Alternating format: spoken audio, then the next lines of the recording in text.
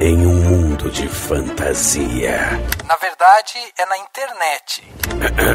em que os filmes são Hum, analisados. também tem biografia, entrevista, debate, um monte de coisa, né? Sim, um podcast se destaca. Podcast Cinemação. Só no cinemação.com.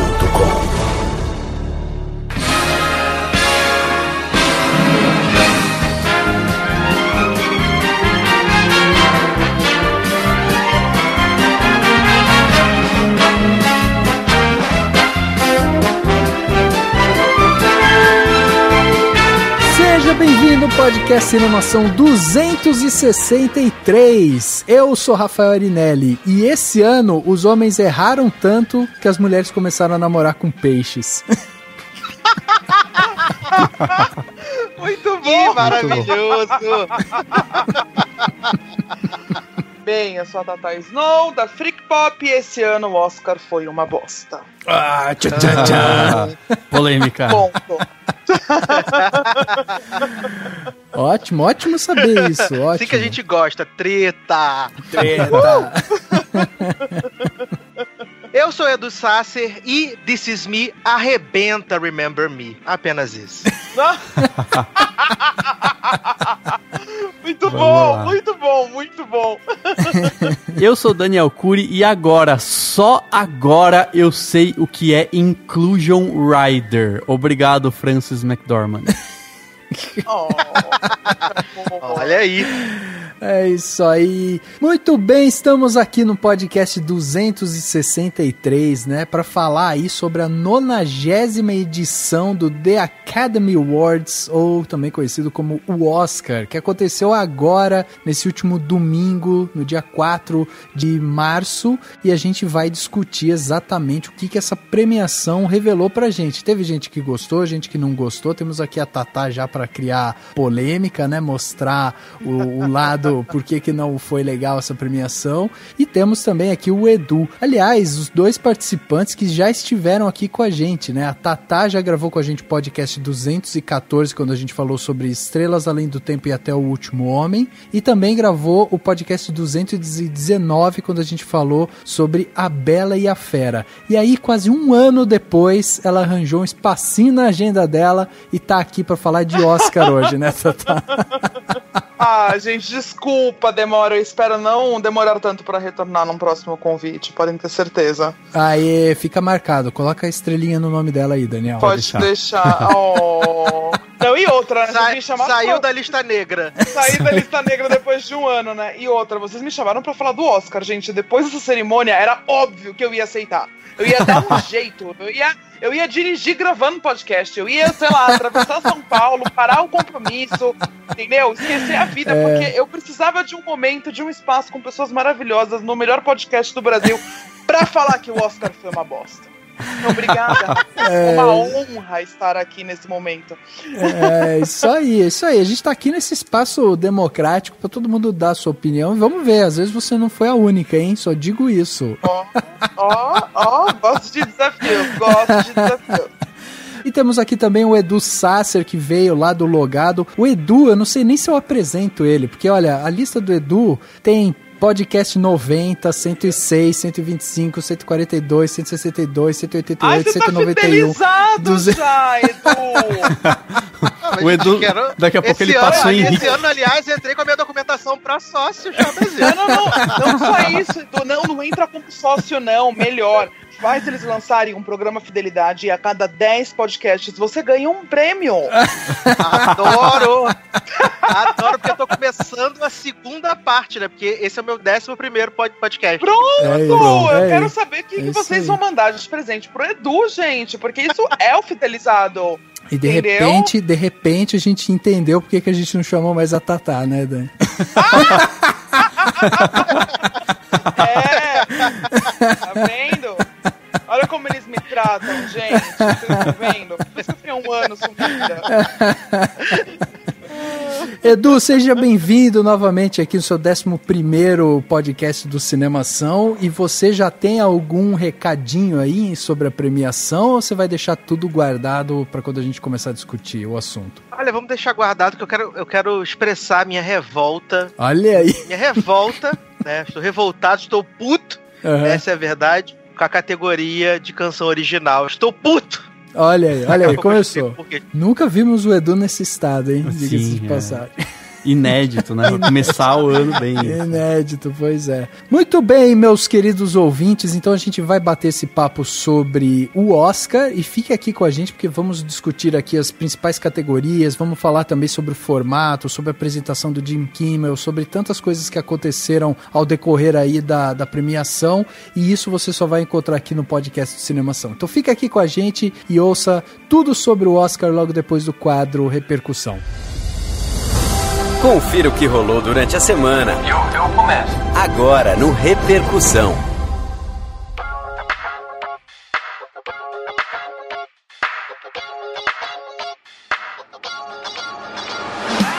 E chegou a hora da gente comentar sobre a premiação de cinema mais famosa do mundo, o Oscar. E para você que tá aí, que acompanhou o Oscar e que vai querer participar dessa discussão que a gente vai ter aqui hoje, você deve mandar então um e-mail para contato@cinemação.com ou acessar o nosso site o cinemação.com. Lá você encontra, além de artigos, críticas, trailers, vídeos e muitas outras coisas sobre cinema e entretenimento, você também vai encontrar os nossos podcasts. Nós temos o Indicação, o nosso podcast aí com dicas, jogos, brincadeiras, né, tudo sobre filme, e temos também o nosso podcast As Matildas, o cantinho feminino do Cinemação, que traz aí o seu olhar particular para o entretenimento. Então você pode acompanhar esses dois podcasts, inclusive pode escutar eles e mandar um comentário lá pra galera falando: "Pô, escutei o Rafa falando lá no Cinemação isso e tal".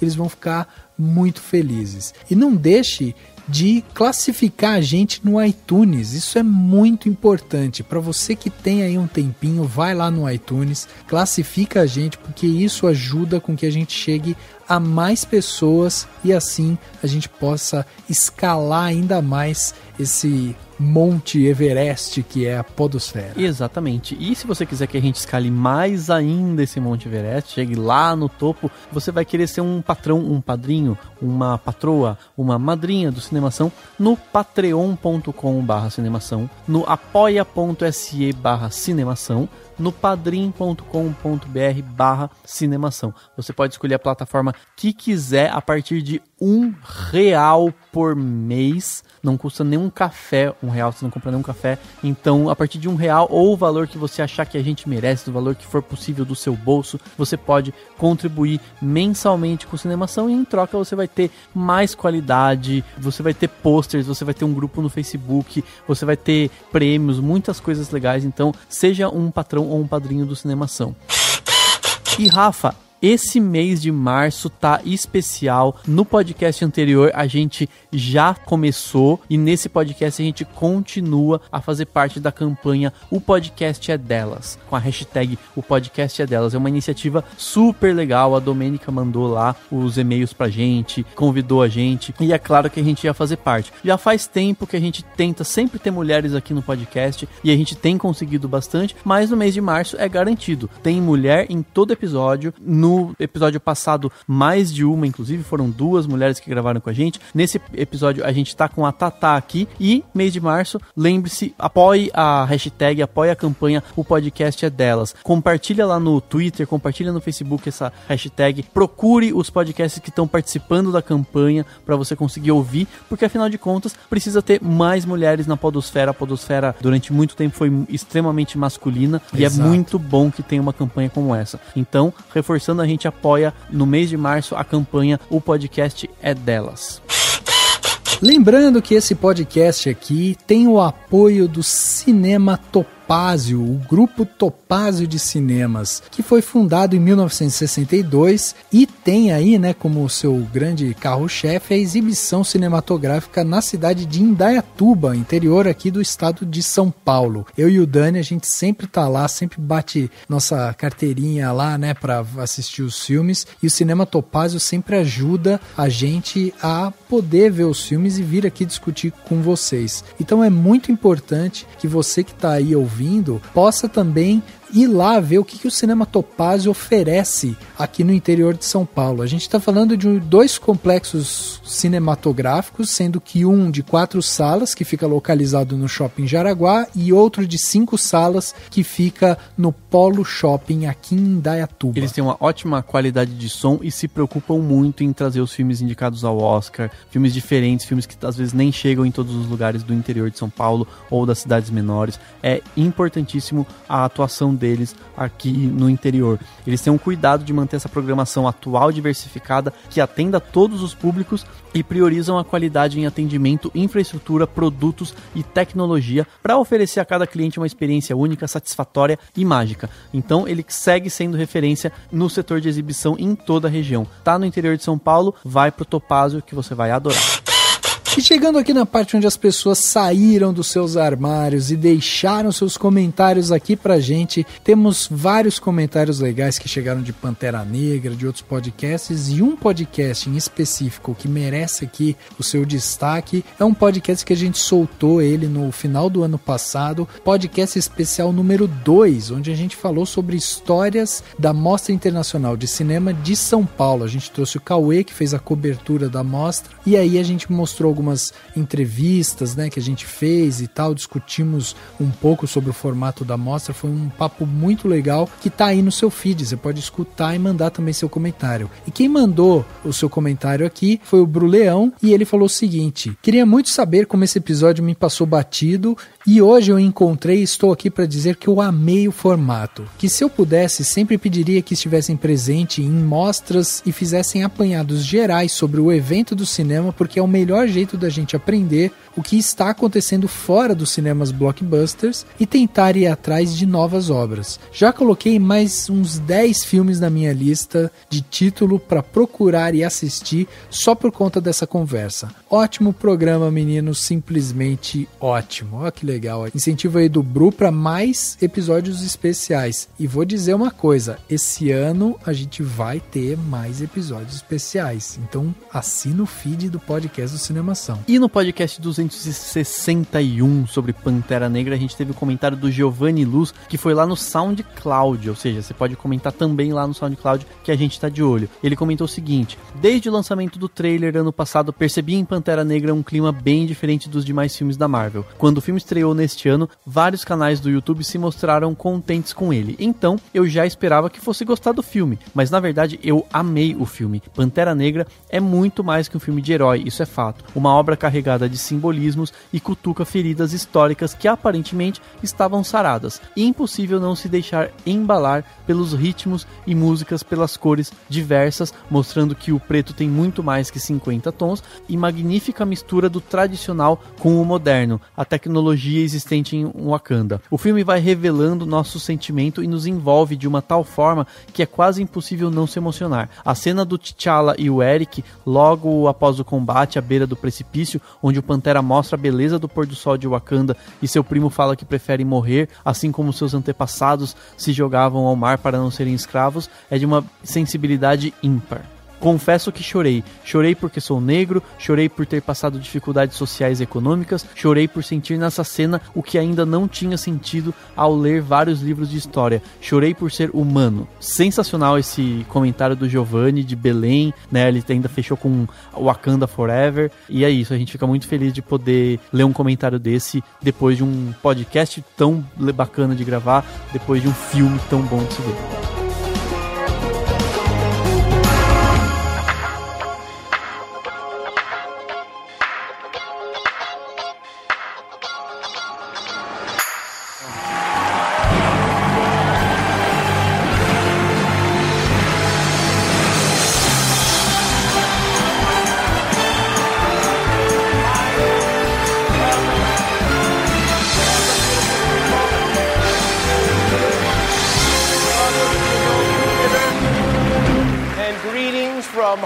To our viewers all around the world. Thank you for watching. Thank you for having me. It is a great honor to uh, be invited back for a second time. It's a great honor to be here among so many talented women and men. Congratulations to all of you. You made it. We're at the Oscars. Some of you will be going home tonight with an Academy Award. What could be better than that? Nothing, right? So, oh, I do want to mention this year when you hear your name called, Don't get up right away. Just give us a minute. We don't want another thing.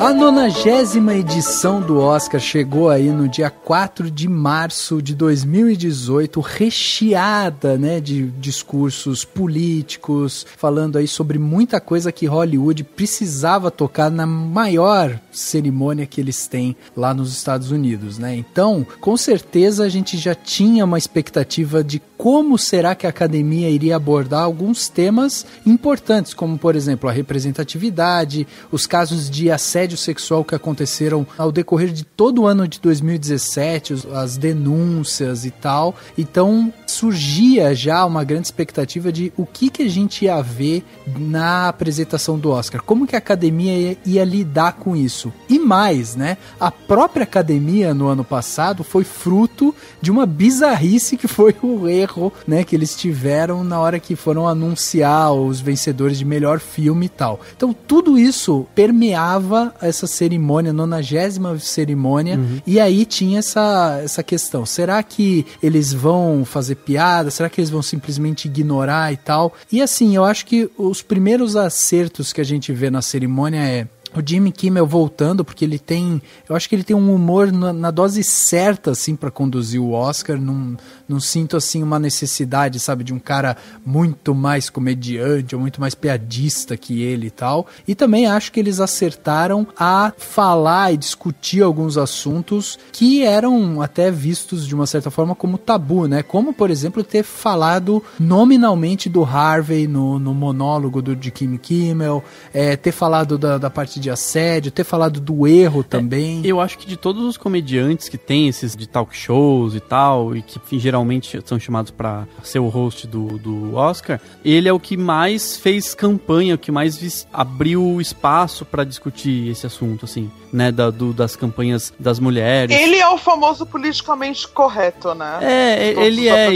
apresentadores, dos apresentadores de esses programas de entrevista, ele é o mais certinho, né? Então, melhor escolha pra retornar mesmo. É, e, e eu também gosto dele. Eu acho que ele tem um timing bem legal, assim. E ele não, fa não faz questão de ficar fazendo piada o tempo inteiro. Porque, por exemplo, eu lembro que eu gostei muito do. Quando o, o Chris Rock apresentou. Sim. Eu gosto muito do Chris Rock como comediante. Mas ele é muito, muito, tipo, é um stand-up que ele faz. E eu acho que não tem necessidade de o Oscar virar um stand-up. Ele tem que ser algumas coisas pra você quebrar o gelo. E ele conseguiu, tipo, quebrar o gelo e ao mesmo tempo falar de coisas importantes. Tipo, ele tava falando, falou do Harvey Weinstein, falou do. Tirou sarro, falou que o Oscar é o homem que todo mundo gosta, né? Que não tem pênis e fica quieto, não Todo fala mundo nada. vê onde tá a mão. É, todo mundo sabe onde a mão dele tá, então é, é, tipo, eu achei é legal que tipo, ele quebrou o gelo, tirou um sarrinho de um de outro e, e ao mesmo tempo falou de tudo isso, e falou de coisa Eu tinha séria, né? gostado muito da Ellen DeGeneres também, que eu achei que ela vai bem. E ela tem uma coisa que eu acho que é um a mais dele, porque é, para mim ela passa uma sensação de familiaridade com os artistas que ele não passa tanto, sabe? Ele tem mais a É. Ele só postura tem de um- familiaridade com o Matt Damon, né? que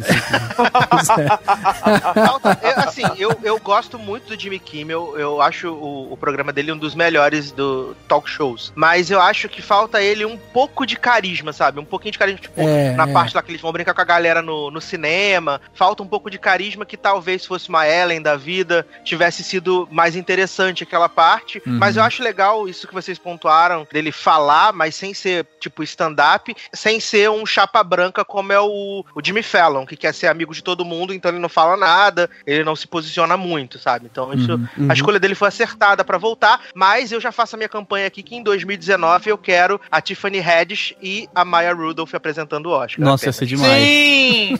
Foi a melhor, é, foi a melhor apresentação, por sinal, né, das duas, de categoria. Foi sensacional. É, e depois de tudo, com tudo que tá rolando, precisa de uma mulher, né, pra ser, fazer a cerimônia, né, eu acho. É, acho que meio que, fa Também o que acho. faltou. Eu acho que foi legal que eles tentaram colocar muito, teve muito mais mulher do que homem apresentando, né, o, a- as, as categorias. Teve, eles se preocuparam muito com diversidade em geral, fiz, falaram abertamente disso, fizeram até um vídeo, né, falando sobre a diversidade. Mas eu acho que a única coisa que, tipo, não faltou, tudo bem, ok, passou lá, não- ninguém também reclamou. Mas assim, seria tão interessante quanto foi quando o Chris Rock apresentou bem na época do Oscar So White, que ele mesmo já fez piada com tudo isso, né? Tirou sarro de tudo isso.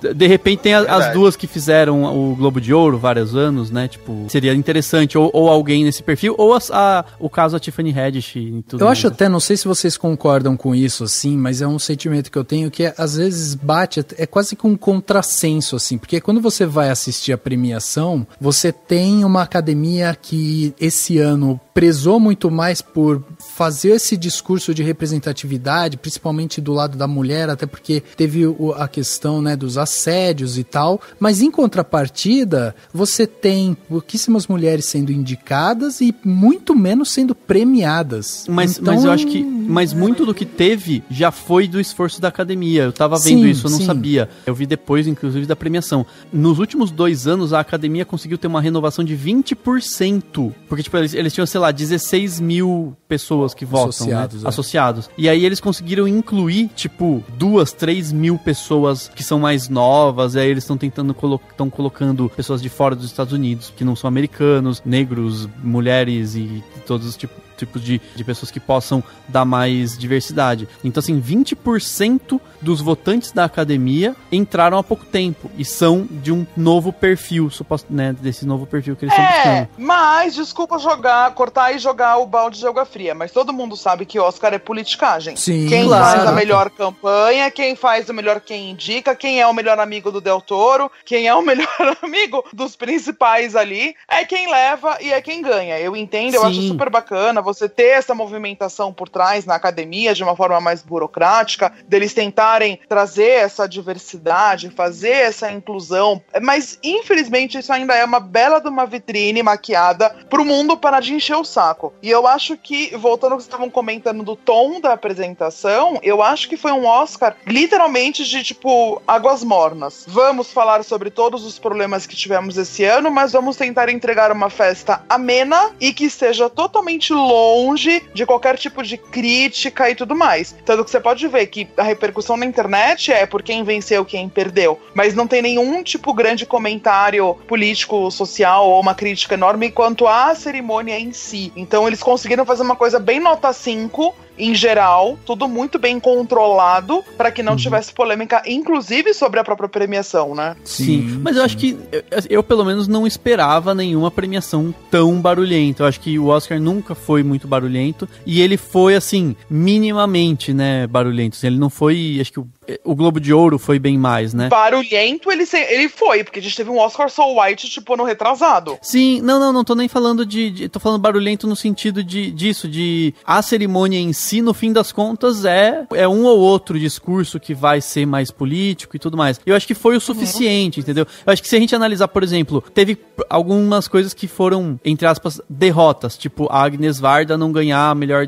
documentário, mas você tem tipo um filme chileno com uma protagonista trans, que inclusive a atriz é trans, ganhando, subindo no palco e depois apresentando. Sabe, você tem teve vários pequenos momentos, o discurso da Frances McDormand, que foi, tipo, ela, você viu que ela tava brava, né? Ela tava tipo, ela sabia que ela ia ganhar, ela tinha certeza absoluta que ela ia ganhar porque ela ganhou tudo antes. E, Sim. e ela meio que, tipo, chegou lá, ela falou assim: "Quer saber? Vamos dar Oscar pra mim, então eu vou, vou falar uma coisa". Mas- e ela fala isso. Mas, eu tenho Dani, coisas pra dizer assim, e, ó, tipo, você tá falando exatamente o que a Tatá falou, porque assim, a Tatá falou que a discussão tá sendo muito mais em cima da premiação do que propriamente da cerimônia. Sim. E você tá falando exatamente sobre as premiações e não sobre a cerimônia. Sim, não, não, mas E aí, dentro o da que eu cerimônia acho- você tem momentos de discurso político. Eu acho que, claro, Então, não, dá, não tô dizendo bem, que alguém mas- subiu lá e berrou. mas é por isso horríveis. mesmo. mesmo. Eles, as pessoas subiram no palco, fizeram os discursos políticos em cima daquilo que a gente assistiu o ano inteiro, desde a primeira discussão sobre assédio sexual em Hollywood, entendeu? Foi tudo muito. Eu achei que foi tudo muito controlado. Foi tudo muito esperado. Era esperado Sim. que ela subisse no palco e fizesse um belo discurso como ela fez. Era esperado as cutucadas com o Harvey Weinstein. Era esperado os comentarinhos sobre, tipo, negros versus brancos. Era esperado. e é Isso, isso que é. eu acho que no fim ela a, a cerimônia acabou sendo uma coisa morna, porque eles entregaram exatamente uma nota 6 para que ninguém fizesse nenhum outro tipo, escalasse qualquer outro tipo de discussão sobre qualquer temática que Hollywood já passou 365 dias batendo e a mídia crucificando, entendeu? É, Então, é a- a- isso. apesar de tudo, o Globo de Ouro, pra mim, ele teve muito mais presença pelas mulheres de preto no, no, no red carpet, pelo o- o surgimento do Bottom no Time's Up, foi no Globo de Ouro, certo? Uhum. Então, assim, te- é, é, os discursos mesmo muito mais agressivos, inesperados, entendeu? Ali foi um primeiro posicionamento de todo o corpo de Hollywood contra o que os Estados Unidos hoje passa, o que Hollywood passa, etc. O Oscar já, já pegou o rabo da, da coisa, entendeu? É isso, então eles é, fizeram é. uma cerimônia ali, tipo, pá, tá aqui, ó, bonitinho, a gente vai atender todos os pontos e, na boa, esquecível. Foi muito esquecível, foi ruim. Não só pelo. De novo, a gente assistiu mais uma premiação com todos esses pontos políticos, então ficou uma coisa repetitiva, como também os premiados em si, as escolhas dos indicados, você vê que foi aquela coisa is- milimetricamente pensado. Entendeu? Pra atender todos os gostos. Tem muitos filmes bons que são injustiçados nesse Oscar, só que você vê exatamente os caras dando a lição de casa. É o filme da. Vou falar desse jeito. A Mina Branca, que escreveu uma história inspirada na vida dela, fez um filme sobre uma adolescente revoltada. Check. Um filme sobre homossexualismo. Check. Um filme sobre negros e preconceito racial. Check. Cê- saca? Um filme sobre estupro. Check. E morte, violência, etc. Então, assim, é impressionante como eles. Gente, o Oscar veio mastigado. E eu não tô falando que isso necessariamente seja ruim. Só pro pessoal em casa não achar que eu sou uma louca reaça. Calma. É. Não acho isso ruim. Mas ao mesmo tempo, foi uma coisa tipo, tá. Mas o Oscar, ele, ele sempre teve esse, essa coisa de. Ele é a última premiação de toda uma temporada, né? Então, aí, aí os debates vão acontecendo e os filmes vão sobrevivendo a, a festivais ou não, e vão sendo falados ou não, por motivos de campanha, por motivos que se, se assemelham muito mais a uma campanha política do que a um festival de cinema, né? Como em festivais você tem toda uma coisa de um júri que vota e tudo mais. E eu acho que, assim, faz parte, é o que a gente sabe, é a forma como a gente sabe que funciona, entendeu? O que eu acho que é interessante é que, como ele faz um barulho muito grande, ao ter esses momentos de pontuações políticas, ele consegue se manter relevante, entendeu? Eu entendo quem fala que ele é esquecível, assim, mas no fundo, no fundo, toda a premiação é um pouco. Ela é só basicamente pra mar- marcar Não, veja só, os vencedores finais, entendeu? E é uma eleição, tipo, não tem.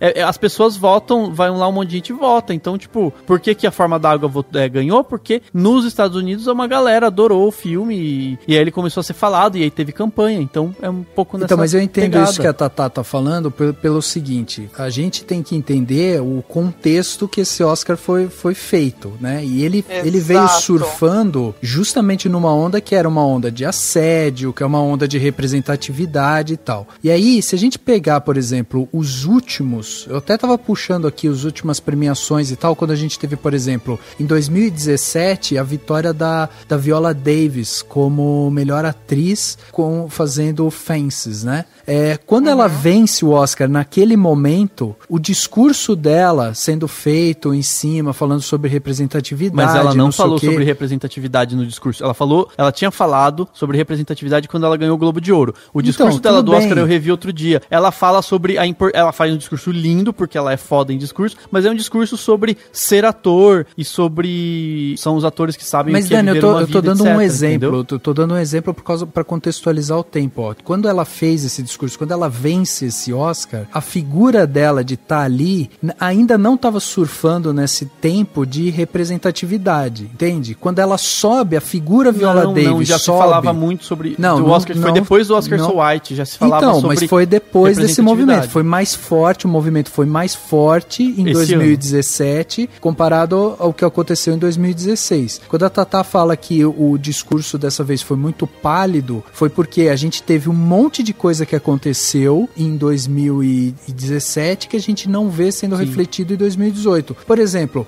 o fato de ter acontecido um monte de assédio e De as denúncia de assédio. denúncia de assédio, mas assim, as atrizes que estavam ali, os discursos, as homenagens e tal, serem mencionados pontualmente uma hora ou outra, entendeu? Sem aquele discurso mais forte que a gente poderia eu não ter. acho, eu acho o contrário. Eu acho que antes a academia era, foi, ela se fez de sonsa durante muito tempo. Ela nunca falou sobre coisas, ela evitava que, que as pessoas falassem de política. E agora o que eu senti é que eles estão permitindo mais, entendeu? Se há um tempo não, atrás. eles não estão permitindo mais. Eles precisam falar pra que não fique uma imagem Isso. feia na mídia. Isso, Se eles sim. tivessem feito uma, uma, uma cerimônia ignorando o último ano inteiro de Hollywood, teria ficado muito feio pro Oscar, porque é também, o Oscar. eu saca? também acho, eu também acho, mas o que, o, que, o que eu acho é que antes eles ficavam calados. Toda vez que tinha grandes debates políticos, a academia sempre ficou calada. Por quê? Então, por exemplo, Hollywood, há muito tempo, Hollywood é essencialmente. Essencialmente não, tem uma grande parte de pessoas que são mais democratas, mais o que seria a esquerda dos Estados Unidos, né? Que não tem nada a ver com a do Brasil e tal, só pra, mas só pra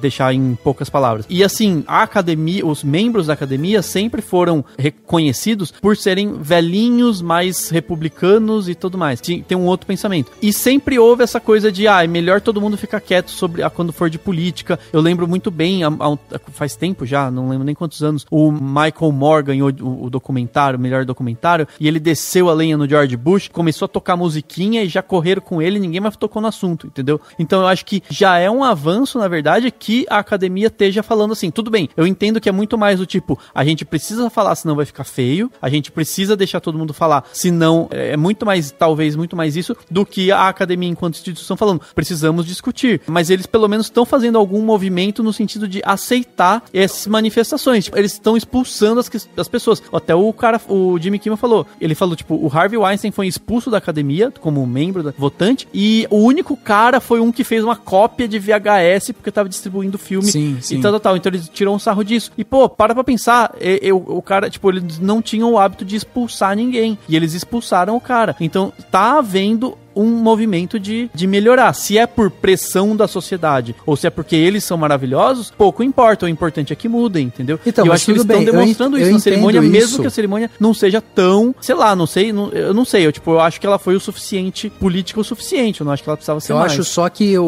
o- essa questão é, é a questão de impacto justamente quando ela se propõe a fazer o que ela faz, quando ela, quando a gente já sabe que ela é bastante política. Então, assim, existe um movimento de mudança, existe.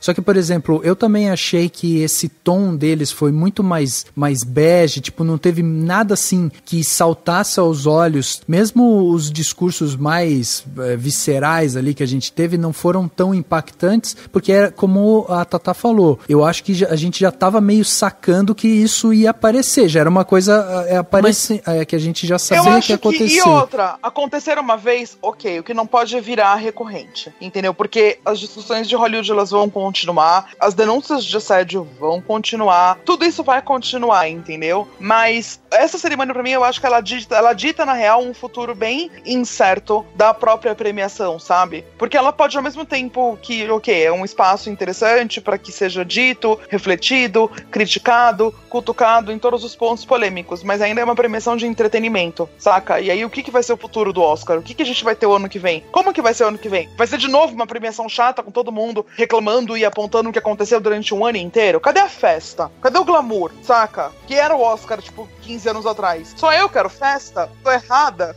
Não, não, eu acho que é uma questão de, de época mesmo. É mais ou menos tipo que nem teve algum, um ano que tava tendo é, guerra e não teve Oscar, né? E aí, tipo, sabe assim, tipo, porque não tinha clima. Eu acho que é uma questão do clima em Hollywood, sabe? No sentido de se tá rolando isso, tipo, se eles fizessem muita festa e muito glamour, apesar de que eu acho que teve o suficiente, tipo, a Frances McDormand tava bêbada, né? Vamos combinar. É, ou tinha A bebido um Frances pouco. McDormand está sempre Está bêbada. sempre bêbada. Deixa ela! Não, tá certa. Banquem- Não, acho Não- maravilhoso. ó, Não tem que ter- banquem é apresentador da TNT, eu não vou citar Não, nomes. não, não, não, Deixa não. ela bêbada e feliz. Sim, também acho. Mas o que eu tô falando assim, e teve glamour o simples fato de que as mulheres não mantiveram a manifestação, né, do lado do Globo de Ouro de se vestirem de preto. Que teve gente que reclamou lá falando, ai, porque não tem mais o glamour, não, não, porque as mulheres estão todas com vestido do mesma, da mesma cor. E a Viola Davis estava de, de rosa, pink, eh, Maravilhosa, chama, chamativo. Sabe, tava todo mundo de as mulheradas de vermelho, de colorido, que faz que foi também uma a forma de se manifestarem, tipo, vamos coloridas, não sei, não sei se estou enganado, mas assim, eu acho que teve o suficiente, entendeu? E aquela coisa, o que que a academia tem poder? Ela tem poder de, de dar pitaco, obviamente, no monólogo do Jimmy Kimmel, obviamente, né? Tipo, eles não vão apro eles vão provavelmente aprovam o texto dele. Fizeram aquela aquela exibição de um de um vídeo falando sobre representatividade, que eu achei bem legal. Eles não têm poder sobre os discursos, entendeu? Tipo, eles não têm poder de dizer assim, você vai ganhar o Oscar e você vai ter que falar sobre. Não, não, tipo, são as pessoas que foram. A Alison Jenny ganhou o Oscar, subiu lá e agradeceu as pessoas que ela queria e foi embora, entendeu? And the Oscar goes to a fantastic woman. Sebastián Lelio. This is the first Oscar and second nomination for Chile.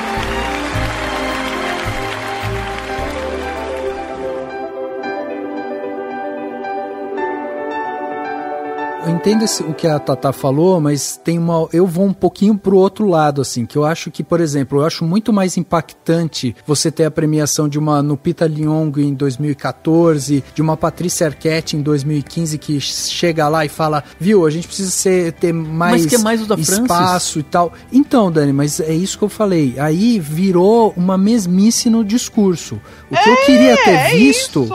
Porque é assim, todo mundo já sabia que ela ia subir e que ela ia falar alguma coisa sobre isso. Ela ia causar. Ela, Ela ia causar, já é. Aí o que eu acho assim, o que eu gostaria de ter visto é justamente uma ou uma porrada maior, tipo, vamos dar mais um passo pra frente, entendeu? Como foi, por exemplo, o discurso da Oprah no, no Globo de Ouro. Foi uma porrada que ela deu. sim, mas, mas é Aí, diferente, porque, tudo bem, porque eu ela sei que é foi diferente. homenageada e ela tinha mais tempo pra Eu falar. sei, tudo bem, eu sei que é E diferente, mas disso. eu tô falando justamente dessa parte do discurso no tempo que ele tá sendo feito. Quando a gente tem uma Patrícia Arquette em 2015 que sobe lá e fala sobre espaço e fala sobre ter uma atriz que era pouquíssima vista, que não teve tanto reconhecimento e tal, e ela sobe e fala sobre isso, ela tá falando numa época em que Harvey Weinstein ainda tá lá, em que ainda tá existindo assédio, que a gente ainda não sabe sobre os assédios. Então, assim, Uhum. ela, ela traz um discurso inovador pra época. Agora, a gente já sabia disso. O Oscar começa não o seu discurso ali no começo, já falando sobre representatividade, é sobre assédio, eu sobre esse sei o que tipo vocês de estão coisa. querendo que o Oscar faça. Uma Gente, porrada, mas é um palanque aquilo ali. eu Então, queria mas ter por visto exemplo, mais, cara, pensa, mais Rafa, gente pensa falando no mais quanto coisa. de gente que vai começar a exigir inclusion rider nos contratos. O que, que é inclusion rider? Que ela falou que traduziram tudo errado, né? Até porque ninguém sabia, nem os jornalistas, ninguém sabia o que era. Ela teve que explicar pra todo mundo. O que, que é inclusion rider? Inclusion rider é uma cláusula de inclusão que um ator, é, um ator, um produtor, qualquer pessoa pode exigir ao fazer um contrato pra fazer um filme. E ao fazer isso, você garante, você pode exigir 50% de presença de pessoas, tipo, de grupos minoritários, vamos chamar assim, tanto no elenco do filme quanto na produção, no cast, né? no cast quanto na, no, enfim, na equipe que vai fazer o filme, entendeu? E aí eles têm que ter metade, pelo menos metade das pessoas que estão fazendo o filme, de pessoas negras, de mulheres, de, sei lá, indígenas, de, sabe, o que E é, o, é, uma grupos pergunta, uma pergunta, porque eu, eu realmente não sei. E o Três Anúncios para um Crime tem isso?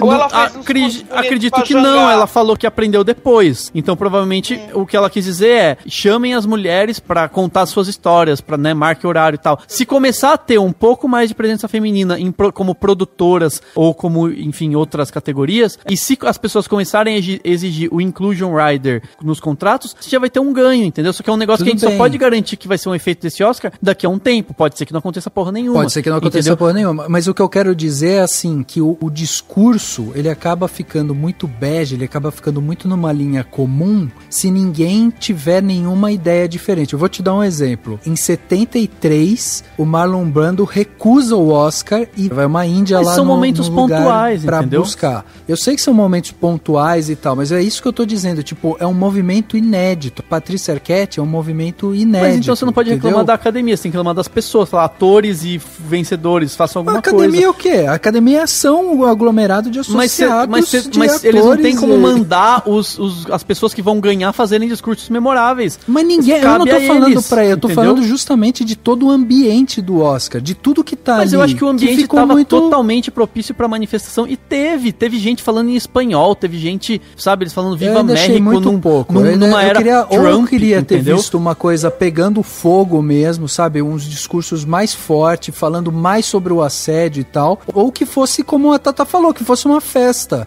Sabe? Porque Mas o, foi, tipo gente, de todo discurso. Oscar é assim, eu não sei o que que vocês estão fazendo. Vocês viram os outros? Ah, Eu tô vendo o Oscar faz 10 anos, pelo menos. Justamente esse é o assim, problema. Justamente entendeu? esse é o problema, Todos porque assim todos são de, iguais. É uma premiação. Eles vão lá, anunciam as pessoas que ganham, as pessoas sobem e pegam os prêmios. Você não tem controle sobre o discurso dos outros. Não, Ah, eu Por parte sei. da academia, eles têm que, tipo, sei lá, fazer uma, um palco melhor possível. E, tipo, eles fizeram lá, botaram o Jimmy Kimmel, que foi legal. O cenário eu achei bacana, tem umas horas que parecia. Tava feio, mas tem umas horas bonito, né? Parecia coisa olímpica, ficou bonito lá. Fizeram homenagem aos anos 90, aquela abertura lá toda preto e branco, como se fosse lá no primeiro ano do, do Oscar, pra relembrar os 90 anos. Então, assim. Cara, posso, vou te falar uma coisa. Tipo, você é um cara que que. vocês- Tudo bem, você é um cara que eh, gosta do Oscar, assiste o Oscar e tal. Eu vou falar um negócio pra vocês. Eu não tenho paciência pra assistir o Oscar. Eu assisto assim, tipo, eu não assisto, não sento e fico assistindo a premiação inteira. Eu não tenho saco pra assistir o Oscar porque eu acho muito isso. Eu acho, tipo, é um palanque político ali e fica, sabe, sempre isso. E, e eu nunca, nunca mais vi. Eu é, acho que os e não últimos. é só isso. Não é só isso. Voltando no que eu comentei. Antigamente, você assistia. Gente, eu, eu acompanho o Oscar, assim, com toda certeza, pelo menos uns 15 anos. Tô entregando a idade. Antigamente, você, eu assistia as, as, as premiações anteriores, principalmente o Globo de Ouro, e tudo o que rolava no Globo de Ouro era completamente do que rolava no Oscar. Porque o Oscar, ele escolhia, ele apontava, ele indicava filmes completamente diferentes, até fora do Globo de Ouro. Tanto que antigamente o Globo de Ouro era aquela coisa meio aquecimento Oscar. Nossa, será que esse filme que levou o melhor filme vai ser indicado ao Oscar? E aí, pá, não era, saca? Aham. E esse ano, a receita do bolo não é só esse ano. Nos últimos 5, 6 anos tá rolando essa receita de bolo. Tá tudo muito previsível, Mas tá isso, tudo muito mas isso chato. não tem a ver com a Tá tudo academia. muito Isso, político. Isso é academia. Isso não, não esquece dos atores. Isso é academia. Não, eu acho que eu acho que isso é o sistema como é feito as votações. Tem toda uma regra que aí as, os produtores, as, as empresas começam a jogar o jogo, entendeu? É tipo, sei lá, regra pra legenda partidária na Câmara. Os caras, como ele tem toda uma, uma regra, um monte de regra bizarra, os caras que manjam do assunto, ao, ao longo do tempo eles vão burlando e conseguindo os caminhos deles pra Não, conseguir eles fazer as fazem- chaves. eles e é o que fazem eles as fazem, campanhas. entendeu? Eles fazem, as campanhas. Pra você participar do Oscar, você tem que ter pelo menos uma sala de cinema em Los Angeles até dia 31 de dezembro. Algo assim. É. Ponto. E aí você começa a campanha. Tudo bem. Só que tem vários outros filmes que, assim, de novo, parece que os caras estão. Acho que até provavelmente a indústria, então, tá pegando, tipo, os mesmos ali, os que condizem com o que rolou durante o ano e o que, que as pessoas, a mídia espera das grandes premiações internacionais. Joga lá, faz um. Né, ah, esse, esse, esse, esse, escolhe os filmes pá, joga e eles vão pra todas as premiações e PT saudações. Então, desculpa, depois de tipo BAFTA, é, SEG Awards, do Critics' Choice, do, Glo do Globo de Ouro, chega o Oscar e você já tá assim, caralho, Sim, sim. não vai ter Tanto- nada de novo, é,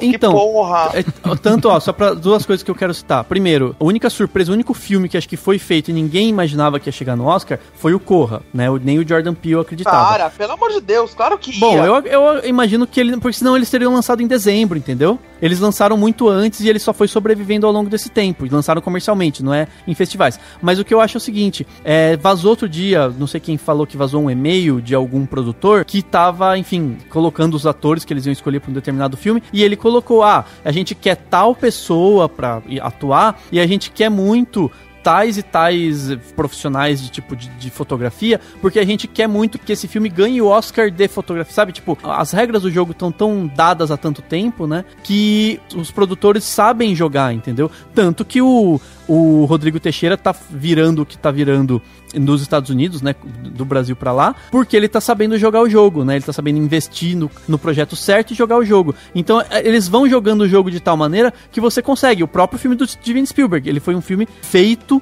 pra ganhar. Ele não ganhou, mas ele conseguiu indicações o suficiente pra dizer assim, consigo ter um, um respiro comercial, entendeu? Com um projeto desse. Só pra gente explicar para as pessoas que estão ouvindo a gente, que às vezes não sabem, o Oscar ele funciona da seguinte maneira: ele é uma academia, ali dentro existem vários associados, esses associados. Milhares, né? Milhares, é. Até a última contagem tinha sido isso, de, sei lá, 10 mil, mil. 7 mil, é. Então, tipo, é muita gente que tá lá, são 7 mil pessoas que fazem essa votação. O que que acontece? Fica essa bancada ali, aí eles recebem um livreto com mais de 250 filmes que eles podem votar dentro do seu campo de atuação. Então, por exemplo, o ator vai, vai receber esse livreto com 250 filmes, vai colocar lá o ator indica o ator, o diretor indica o diretor e tal. E a única categoria que realmente acaba surgindo é a categoria de melhor filme que todo mundo vai lá e, e vota. E o filme, para estar dentro desse livreto, né, precisa ter ficado uma semana nos Estados Unidos e tem que ter Em passado Los Angeles, né? Nem nos Estados em Unidos. Los todo, Angeles e ele tem que ter passado do dia 1 ao dia 31 de dezembro, né, daquele ano. Então ele tem que ter essas duas Sessões pagas, né? Ainda É. tem que ser em sessões, sessões pagas. Exatamente. Então o cara fez o filme, colocou o filme pra passar uma semana em Los Angeles, numa sessão paga. O filme passou dentro daquele ano vigente ali, ele pode pegar o filme dele e escrever pro Oscar. Aí os associados vão receber um livreto com o nome desse filme lá e eles vão votar nesses 250 filmes pra decidir, ah, o ator vai votar no ator, vão fazer lá uma listinha e vão surgir as categorias da premiação. Feitas as categorias, né, definido isso, aí eles recebem uma cédula de votação pelo correio e aí eles começam a fazer a votação para saber quais são os vencedores. Só, só para as pessoas entenderem, o único que não acontece isso é o filme estrangeiro, que daí é aquele processo que o país manda. Isso, o país é, escolhe, é. né? Que nem no Brasil que a gente escolhe e manda pra lá. Aí não precisa ter essa estreia em Los Angeles. Acho que é, é filmes estrangeiros, documentário e curta também tem Deve isso, né? passar por um processo diferente. é. Bom, enfim, daí é feita a votação e depois dessa votação, né, surge os vencedores e tal. Então, assim, é um processo feito dentro dessa, dessa galera. O, a minha maior reclamação com o Oscar e que eu acho que a gente precisa, sabe, evoluir com o tipo de, de premiação e tal, que eu acho que passa pela mentalidade da academia, que passa pela mentalidade das pessoas que estão ali subindo para fazer seus discursos e não sei o quê. Eu sinto muita falta dessa modernidade, sabe? Abrir o a votação pro público, fazer pela internet, fazer não é qualquer academia. coisa, entendeu? É pela internet porque os votantes votam pela internet, mas Então. daí não é mais uma academia, é um People's Choice Award. Aí Não, é mas outra coisa, é mas outra dá peso, você pode dar entendeu? pesos diferentes. A não ser que você crie uma categoria, poderia- tipo, um tipo, escolha do público. E Então, as mas eu acho que poderia Aí- modernizar isso, criar mais conexão com o público, entendeu? Eu acho que existe um problema. A academia tem um problema muito sério de conectar com o público Sabe que qual tá que é o ali. grande problema de conectar com o público? É que os grandes blockbusters não coincidem com... Antes não, né? Antes, tipo, sei lá, e o Vento Levou, ganhou o Oscar e foi o maior bilheteria. As últimas vezes que isso aconteceu foi, tipo, Avatar, que nem... Não, é Avatar, nem ganhou... Acho que foi Avatar mesmo. É, o Avatar, aí teve Titanic, também que era de James Cameron, e teve o Senhor dos Anéis, quando ganhou, né? Esses assim. Mas o que acontece? Eles, as pessoas, o grande público, não vai assistir. São dois filmes só dos indicados que fizeram mais de 100 milhões em bilheteria. Então o grande público não assiste. Só que daí o problema é essa desconversa. Por quê? E aí entra naquela questão de tipo, a Hollywood não tá sabendo educar as pessoas. As pessoas passaram a gostar de filmes que a academia não gosta. Começou a haver uma divergência de Exato, gosto, entendeu? então. e aí Aí- é só você alinhar, assim- é só você alinhar não, porque é super difícil, mas é só é basicamente você criar toda uma educação audiovisual, e aí não quero dizer que vai soar elitista, né? Tipo, ai, quem é educado audiovisualmente vai gostar de é, A Forma da Água e pessoas nananã assistem Transformers.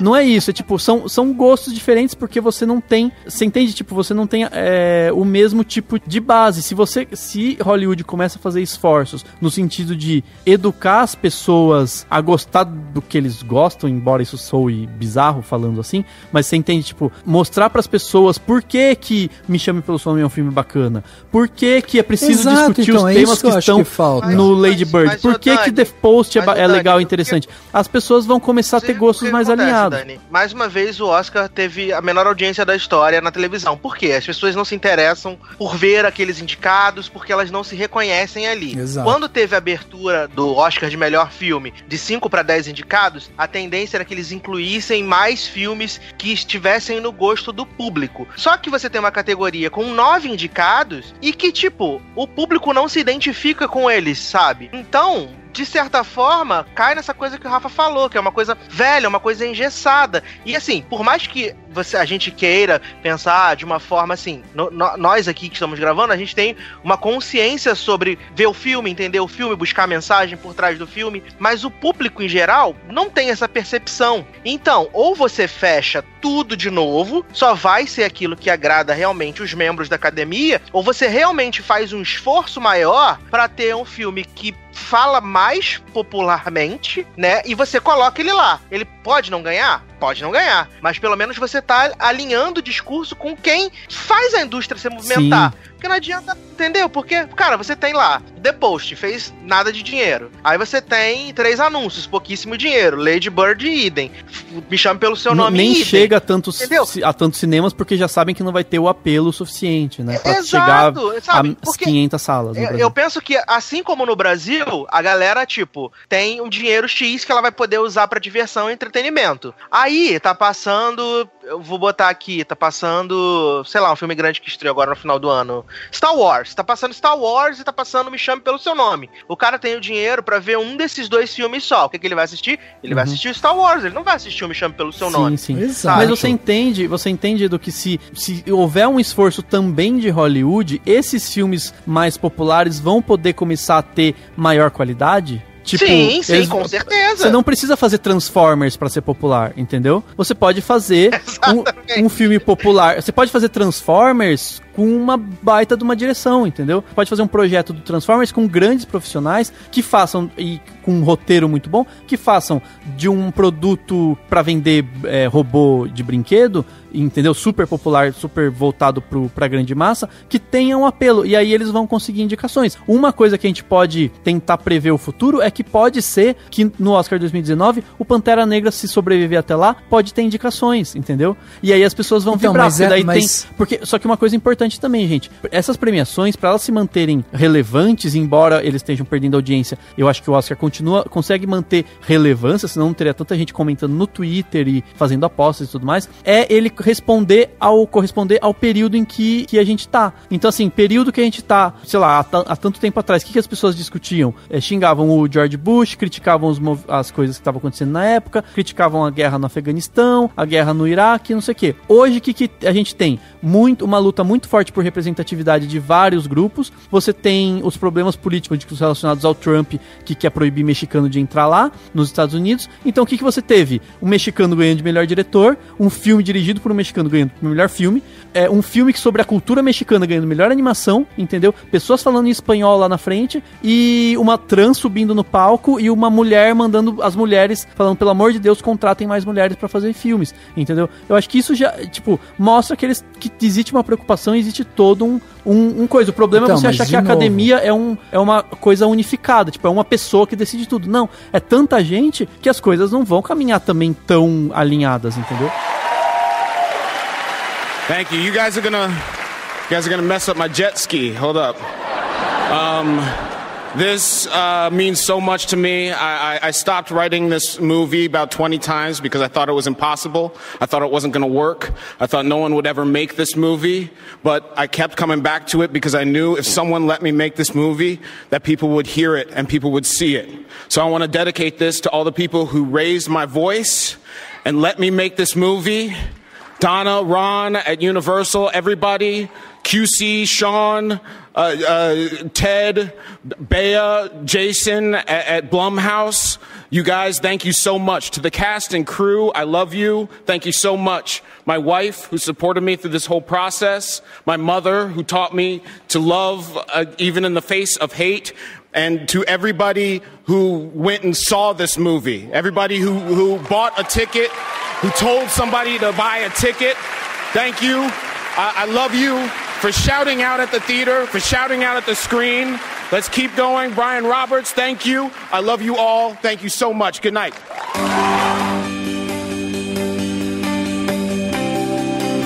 Tenho vontade de sentar e assistir o Oscar porque eu já, já sei o que vai acontecer ali. Então quando eu pego e olho isso, que tipo o Oscar 2018 registrou a menor audiência nos Estados Unidos, a gente tá falando de um prêmio americano para americano e foi a primeira vez na história que eles tiveram uma audiência menor do que 30 milhões de espectadores. Ou seja, precisa ser repensado o modelo deles de ou de premiação, alguma coisa precisa ser, ser repensada. Nem que seja a liberação completa dos discursos das pessoas lá. Entendeu? Aquela questão, né, o Rafa, que a premiação é muito longa, muito, muito longa. longa, muito Sim. longa. É, não, aquela Sabe, parte da esse- esse ano pizza esse ano pessoas eles não se precisava. superaram. Cara, eles se superaram esse ano. Porque geralmente o Oscar são três horas, assim, três horas e meia estourando. Esse ano foram quatro horas de premiação. E, assim, é muito cansativo pra quem tá assistindo. Total, Sabe? total. E mais pro outro público, porque para públicos de fora dos Estados Unidos, porque lá eles ainda estão acostumados com eventos que são gigantes, que são muito longos, né? Assim, os eventos lá são mais longos, mas aqui Por no isso que Brasil eu não. acho que, tipo, uma modernidade no, no seu pensamento. Você tem uma presidente da associação, você tem, né, pessoas que estão ali que estão dirigindo. Ok, você existe, existe ali uma bancada que vai é, organizar toda a parte de festival, existe os associados, existe a,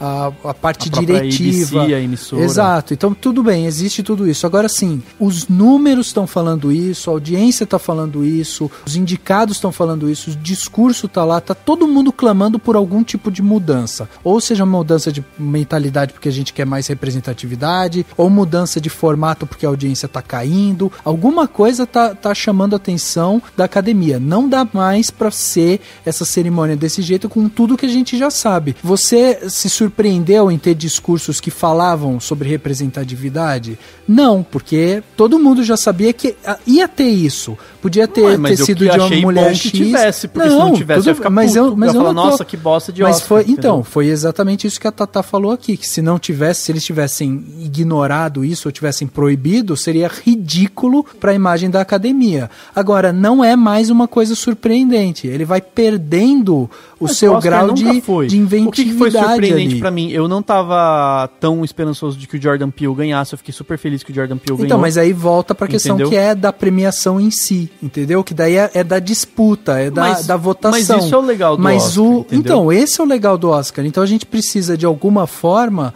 trazer um pouco mais disso. Ou ele precisa ser mais inventivo, ou ele precisa ter mais surpresa, ou ele precisa, sabe? Por isso que eu falei, eu, eu queria ter visto um discurso mais pé na porta. Ia ser uma surpresa pra mim isso. Não teve nada disso. Teve um discurso aqui, outro ali mais apimentado, mas não teve nada demais. Então ele acaba sendo muito blasé em algumas coisas, entendeu? Ah, mas por exemplo, eu achei super legal lá a Tiffany Haddish e a Maya Rudolph subirem sem, sem o sapato. São pequenos detalhes, eu não sei, eu não consigo imaginar. Tudo bem, você pode até falar assim, vamos transformar o Oscar no troféu imprensa, bota o Silvio Santos lá pra apresentar. Tipo, Socorro!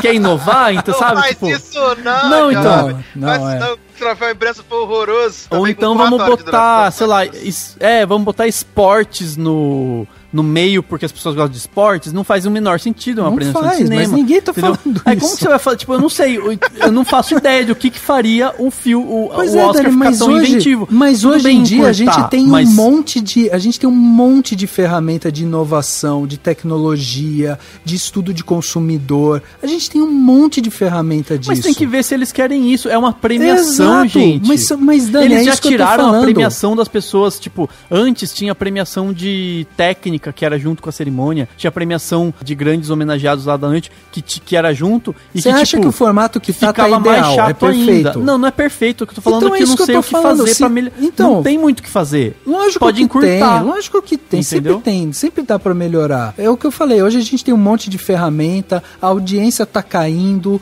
sabe? Eh, Já tá começando, mostra já esse Mas tem tipo que de ver problema. também se, se o, a- o, o rendimento dos anunciantes está caindo. Porque se ele não tiver, grande bosta a audiência cair. Pelo contrário, você faz nichado. Hoje em dia, o futuro do mundo não é coisa grandiosa para muita gente, é coisa nichada. Aí você vai ter um público que gosta daquele determinado tipo de filme e vai ter uma premiação do Oscar, Ah, entendeu? gente, e aí o Oscar, pra boa. ter resultado, ele vai, ele vai calcar na- nas discussões políticas, entendeu? E Calcar em, em debates. ah, gente, porque, mas ué, sério, eu, tenho, eu tenho saudade dos blockbusters, entendeu? Senhor dos Anéis, Mas Titanic. eu também eu tenho saudade Porra! de blockbuster bom. Tipo, Se fizessem chega, bom, saca? e eles iam estar no Porra, Oscar. Na boa, Mulher Maravilha merecia ser indicado muito mais que Ah, Lady eu Bird, acho que gente. não. Não, ah, eu que acho também. Eu também acho. Eu Não, também não é acho. pra tanto. Eu não é também pra acho. É um tanto. filme, Eu também é um acho. filme sobre super-heróis, que é um gênero totalmente ignorado pela academia. É um filme dirigido por uma mulher. É um filme sobre uma super-heroína mulher. também é um acho. filme, tipo, que, tudo bem, ele tem um péssimo Inclusive, ele, ato, ele assim, tem mais apelo político do que a Lady muito Bird também. mais, muito mais. É um filme bem feito, é um filme de qualidade, é um filme que tem orçamento, é um filme que teve bilheteria,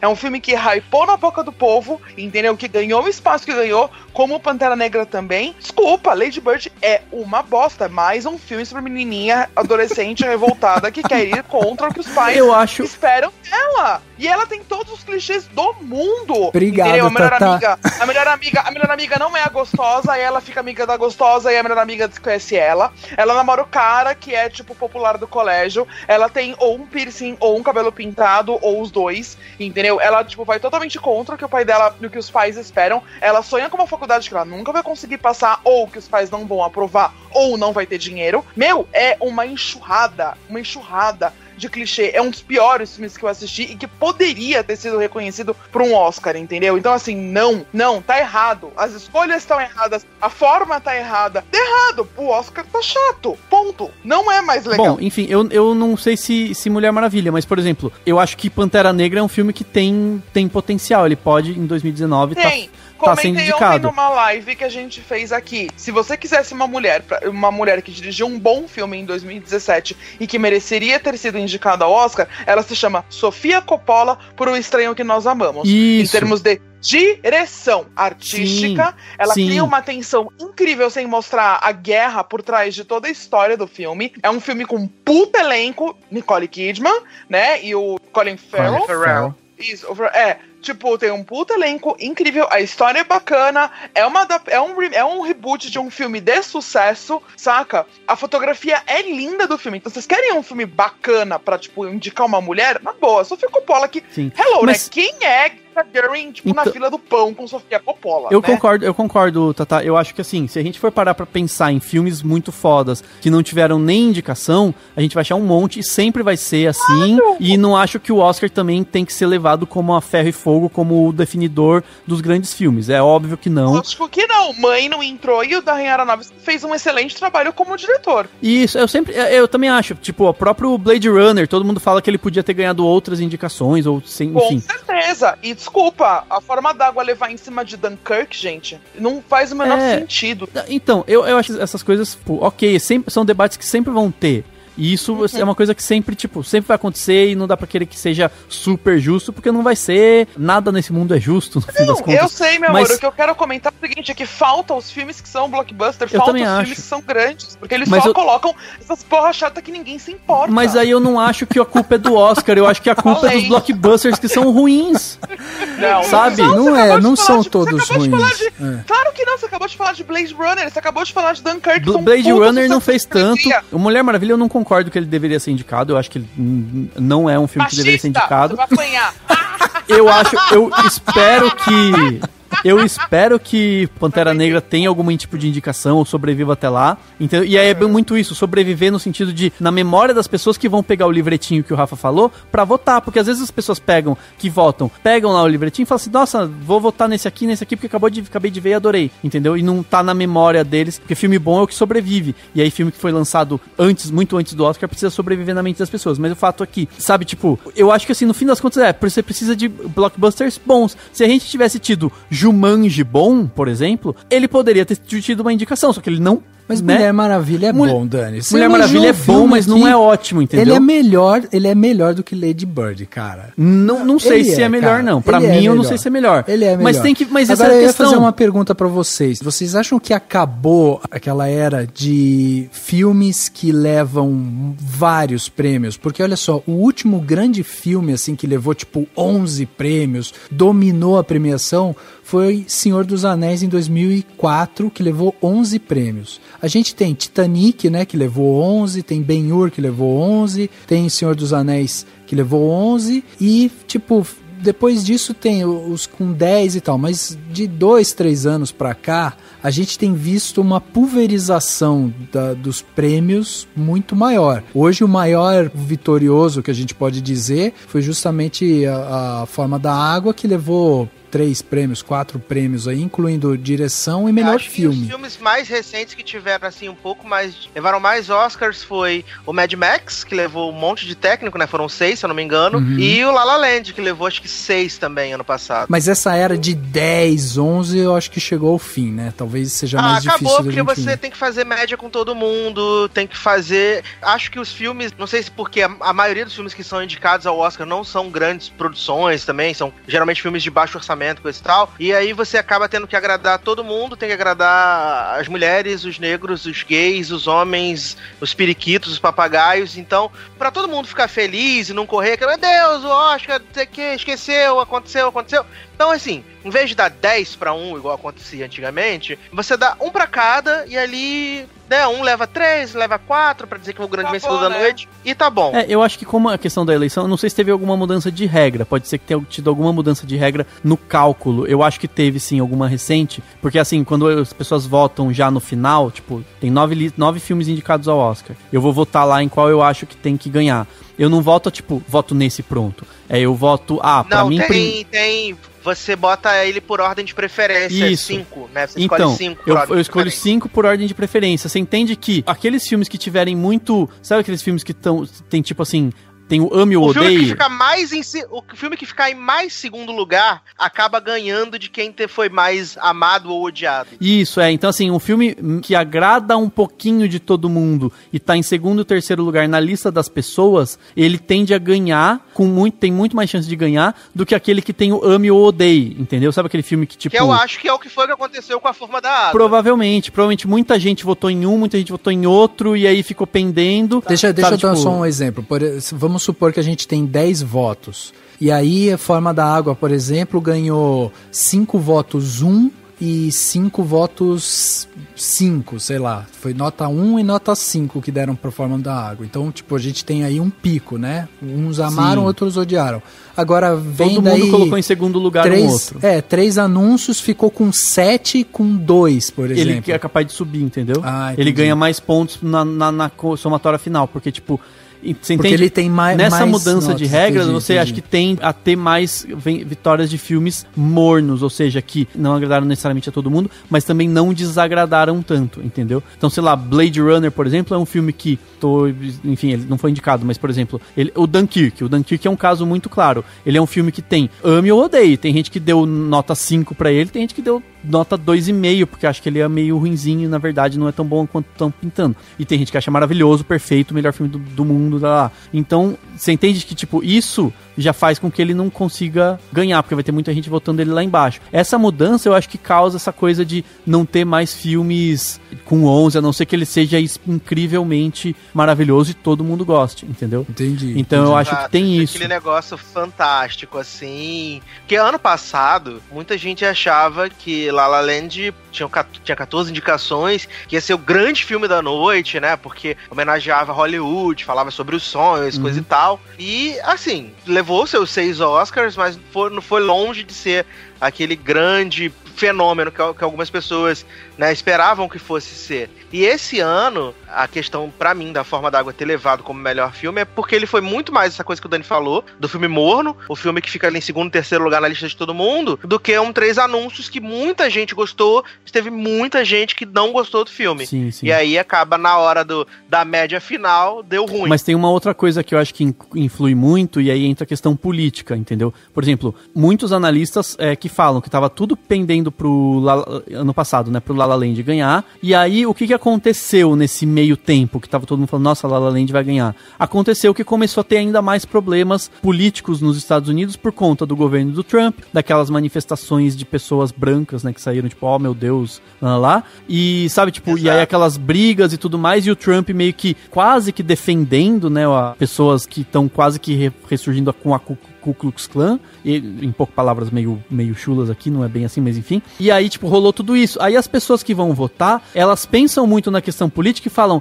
porra, precisa dar o Oscar por filme que mostra um cara negro da Exatamente, periferia, e tá- entendeu? É. Eu preciso votar E Às nesse vezes filme. o cara nem viu o filme, né? Pode ser. É, eu tava conversando, eu tava conversando isso com, com os amigos essa semana, né? Que a gente teve o Moonlight levando ano passado, como quando tudo pendia pra que Clara Land levasse, né? E a gente teve também a vitória de 12 anos de escravidão. E, assim, o 12 anos de escravidão venceu num ano seguinte a que teve a polêmica do Oscar So White. Então, o filme, Sim. que é protagonizado por negros, que fala da escravatura, não sei o quê, levou o Oscar de melhor filme. No ano passado, a gente tinha o filme que era o musical Enaltecendo Hollywood, protagonizado pelos brancos canta, é, cantores e dançarinos. E a gente tinha o filme que era dirigido por negros, protagonizado por negros, que falava que o protagonista era homossexual. E aí entra toda essa questão que o Dani falou, do cenário político que mudou de uma forma abs- absurda, né? Essa coisa do muro, da segregação. E aí acabou gerando esse movimento. Porque eu realmente acho que La La Land, se não tivesse tido essa virada, La La Land levaria o prêmio de melhor filme do ano passado. Sim. Sim, Eu sim. acho que possi- é. bem possível.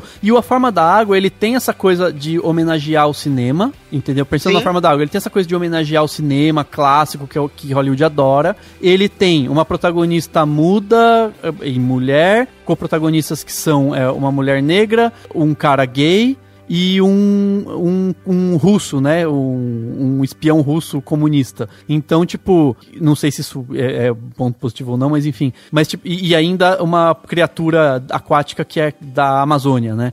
Então, também existe. o- e, e o filme ainda é dirigido por um mexicano. Então, provavelmente, isso, isso pendeu para as pessoas É, então, gostarem do filme no lado- sentido de falar, pô, é isso. E fora que tem a questão de que o, Guilherme Del Toro tá ganhando um prêmio. Tem aquela coisa, né, que a gente sempre discute quando fala de Oscar. Não é só baseado nesse filme, é baseado na obra Sim, do Guilherme sim. Del Toro. Sim, exato, Ele fez exato. grandes filmes e nunca ganhou nada, nunca nem foi Eu indicado acho que direito. Labirinto do Fauno deveria. Labirinto do Fauno é muito um foda. filme muito melhor do Nossa, que esse. Labirinto- Aí, melhor. vários outros do Guilherme Del Toro são Até melhores. o A Colina, o A Colina Escarlate, eu diria que ele é um pouquinho. Apesar de eu não gostar, ele é um pouquinho melhor do que o Peixe. É, Splash 2. Mas assim, você entende que é tudo isso que pende. Eu acho que é isso que as Sim, pessoas precisam sim. entender. Não, o próprio Oscar Jimmy é, tipo, Kimmel- ah, o melhor filme. O entendeu? próprio Jimmy Kimmel, no seu monólogo no começo, ele brinca com isso, É. porque ele pega e fala assim: de melhor atriz, ele fala da Margot Robbie, porque é a primeira indicação dela, depois ele fala da indicação do Timothée para melhor ator, e depois ele vira pra câmera e fala assim: e você que tá aqui e que ainda não tá fazendo alguma coisa inédita no Oscar, sabe, tenha vergonha nessa sua cara, porque, tipo, toda categoria tinha alguém pra fazer alguma coisa nova, sabe? Ah, ele era o ator mais novo a ser indicado, tem ela era a Christopher primeira. Plummer, que foi o mais velho. Christopher né? Plummer, né? Então eles, tipo, dá pra perceber justamente essa composição política, né? Que a gente vai vendo ao longo da premiação. Então, bom, pessoal, vamos falar então um pouco, né? Pelo menos da premiação em si, dos vencedores e tal, das principais categorias, né? A gente teve já quebrando a banca aí, né? E muita gente ficando feliz e tal pela vitória do Roger Dickens, né? Levando melhor fotografia. Porque depois Finalmente, de 14 indicações, acho que Sim. finalmente Mano, falaram, bom. Eu, eu, eu virei mais fã desse cara. Ele já é, tipo, um dos maiores, um- ou o maior diretor de fotografia que existe.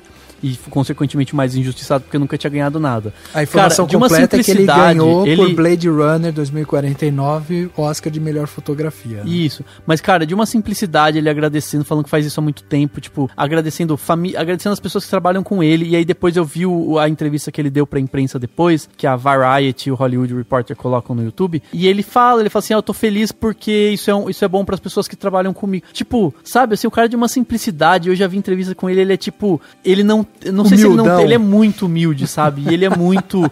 e, e- e, cara, tipo, uma pessoa foda que nem ele, ele é muito foda, assim. Ele é muito, muito, E muito foda. Acabou a era Katy Perry dele, né? Finalmente, né? Ganhou, né? Isso. Finalmente. Ele É. entrou pra, pra aquele rolzinho lá do Leonardo DiCaprio. Agora só falta a Amy Adams, tadinha. Vamos, vamos força Amy. Força É, mas assim, sei lá, eu achei. Eu, eu fiquei mais fã dele, entendeu? Eu acho que ele. A melhor vitória pra mim, a dele é a de- do Jordan Peele, de roteiro é, Ah, original, gente, né? pra mim foi o único momento da noite que eu dei um grito de felicidade e eu fiquei maravilhada com ele em cima do. naquele palco com o Oscar na mão, porque assim, era mais do que merecido. Tipo, ponto. Foi lindo. Entendeu? sim. E pra mim foi o único momento marcante desse Oscar que eu particularmente não vou esquecer. Fiquei feliz com o Gary Oldman levando o melhor ator, mas eu acho que o Daniel Day-Lewis merecia mais. É, não, você tá falando do Jordan Peele, né, Tata? Que, que é o momento que você mais gostou, né? Sim, do Jordan, É, do Jordan Não, então, e, tipo, e é muito legal que ele agradeceu as pessoas que foram, porque eu acho que o Corra é o único filme que tem aí que, tipo, tá na concorrente, que, assim, teve bilheteria boa por boca a boca. Porque as pessoas iam, sim, falavam, sim. esse filme é muito foda, vai ver, esse filme é muito foda, vai ver, esse filme é muito foda, vai ver. É só E vamos ele dar a informação completa, porque a gente pulou de um Oscar para outro. A gente tá falando da, da vitória de Corra com o roteiro original, que o Isso. Jordan Peele subiu lá e tal. Isso. Foi o primeiro é, negro, né, a levar a Primeiro estatueta. Homem negro a ganhar um Oscar por por roteiro, roteiro, exato. original, porque adaptado já teve Então, vários. eu acho que tem du- duas, duas coisas interessantes aqui, que é a primeira, o Jordan Peele, ele vence merecidamente, porque o filme é um primor no, no seu roteiro. Eu adorei Corra, sempre Nossa, falei que era, também. que era meu favorito pra levar tudo que pudesse. Eu Também acho, merecia, sim, sim. Agora, sim. no- na parte de fotografia, algumas pessoas podem dizer assim: ah, o Dickens ele tá levando pelo conjunto da obra. É também, mas o trabalho que ele fez de fotografia em Blade Runner é um trabalho merecido de Oscar Não, é, também. e, e, tipo, dos,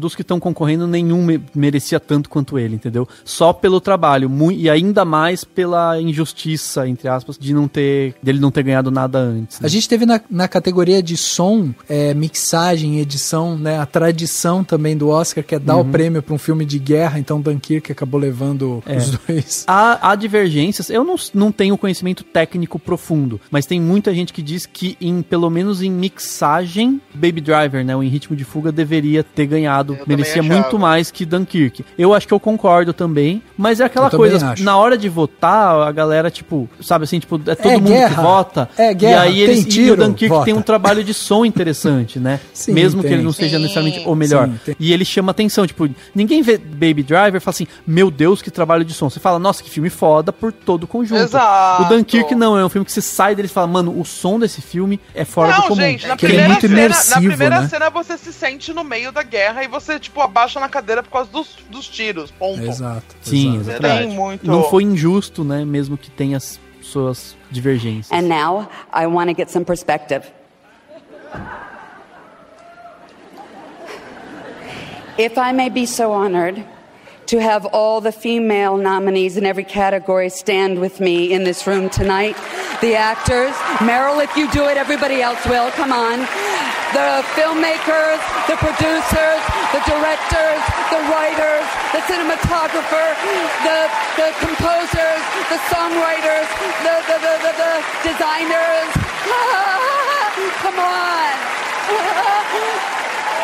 Ms. Boyne.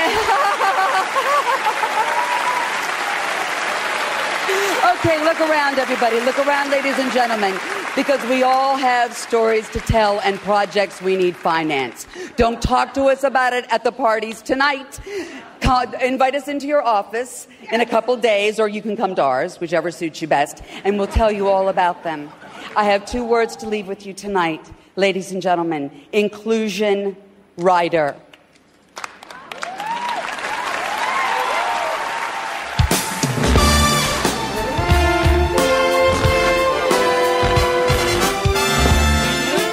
Agora, Edu, destila sua raiva aí sobre a canção, né? Porque a gente já tá falando de som mesmo e tal, então vamos pra essa de som. Qual que foi seu ódio, sua, sua revolta? Daniel Lemos, Curi, Rafael Arinelli, Tatá. Fala, amor. Não é, po- Desabafa. não é, não é possível, não é possível que a academia tenha premiado Remember Me ao invés de This Is Me, que é uma canção incrível, empodera- empoderadora, de aceitação, de inclusão. Ela toca no filme. Aliás, o rei do show, filme injustiçado, filme maravilhoso, que as pessoas falaram assim: ai, é flop, já tá com mais de quase 400 milhões Sim. no mundo. Não vejo flop, cadê o flop Brasil? Oito semanas em primeiro. Trilha sonora, oito semanas em primeiro lugar no Reino Unido, seis semanas em primeiro lugar na Billboard nos Estados Unidos. Depois da apresentação daquela Settle, This Is Me voltou para o topo da Hot 100 da Billboard. Então não vejo flop, né? A, a- a música é muito fantástica. Ela toca no filme, ela tem o contexto. Remember Me, vamos combinar? É legal, é bonitinha. Você chora quando você tá vendo o filme, mas saiu do filme e você esqueceu. Você não vai botar no seu Spotify, você não vai botar no seu Deezer, no seu Apple Opa, Music, você não vai pera. ouvir essa música. Eu, eu Edu, tá, tá no meu. Edu, Edu, amor, respira. Deixa eu te Ó. falar. Tem uma coisa só. Tem uma coisa só pra te rebater, amor. Você esqueceu nessa tua frase linda. Eu amei esse momento de devoção, de desabafo, de amor, de verdadeira paixão pela trilha sonora como um todo. De um filme que eu também compartilho desse sentimento, porque eu gostei pra caramba. Chorei que nem um bebê no final. Ó, eu, só, eu Amei. só queria deixar Ai, registrado aqui amor. que eu vi o Rei do Show sete vezes no cinema. Sim, eu, lindo, lindo. Queria que todo mundo fosse pro cinema sete vezes pra ver qualquer filme.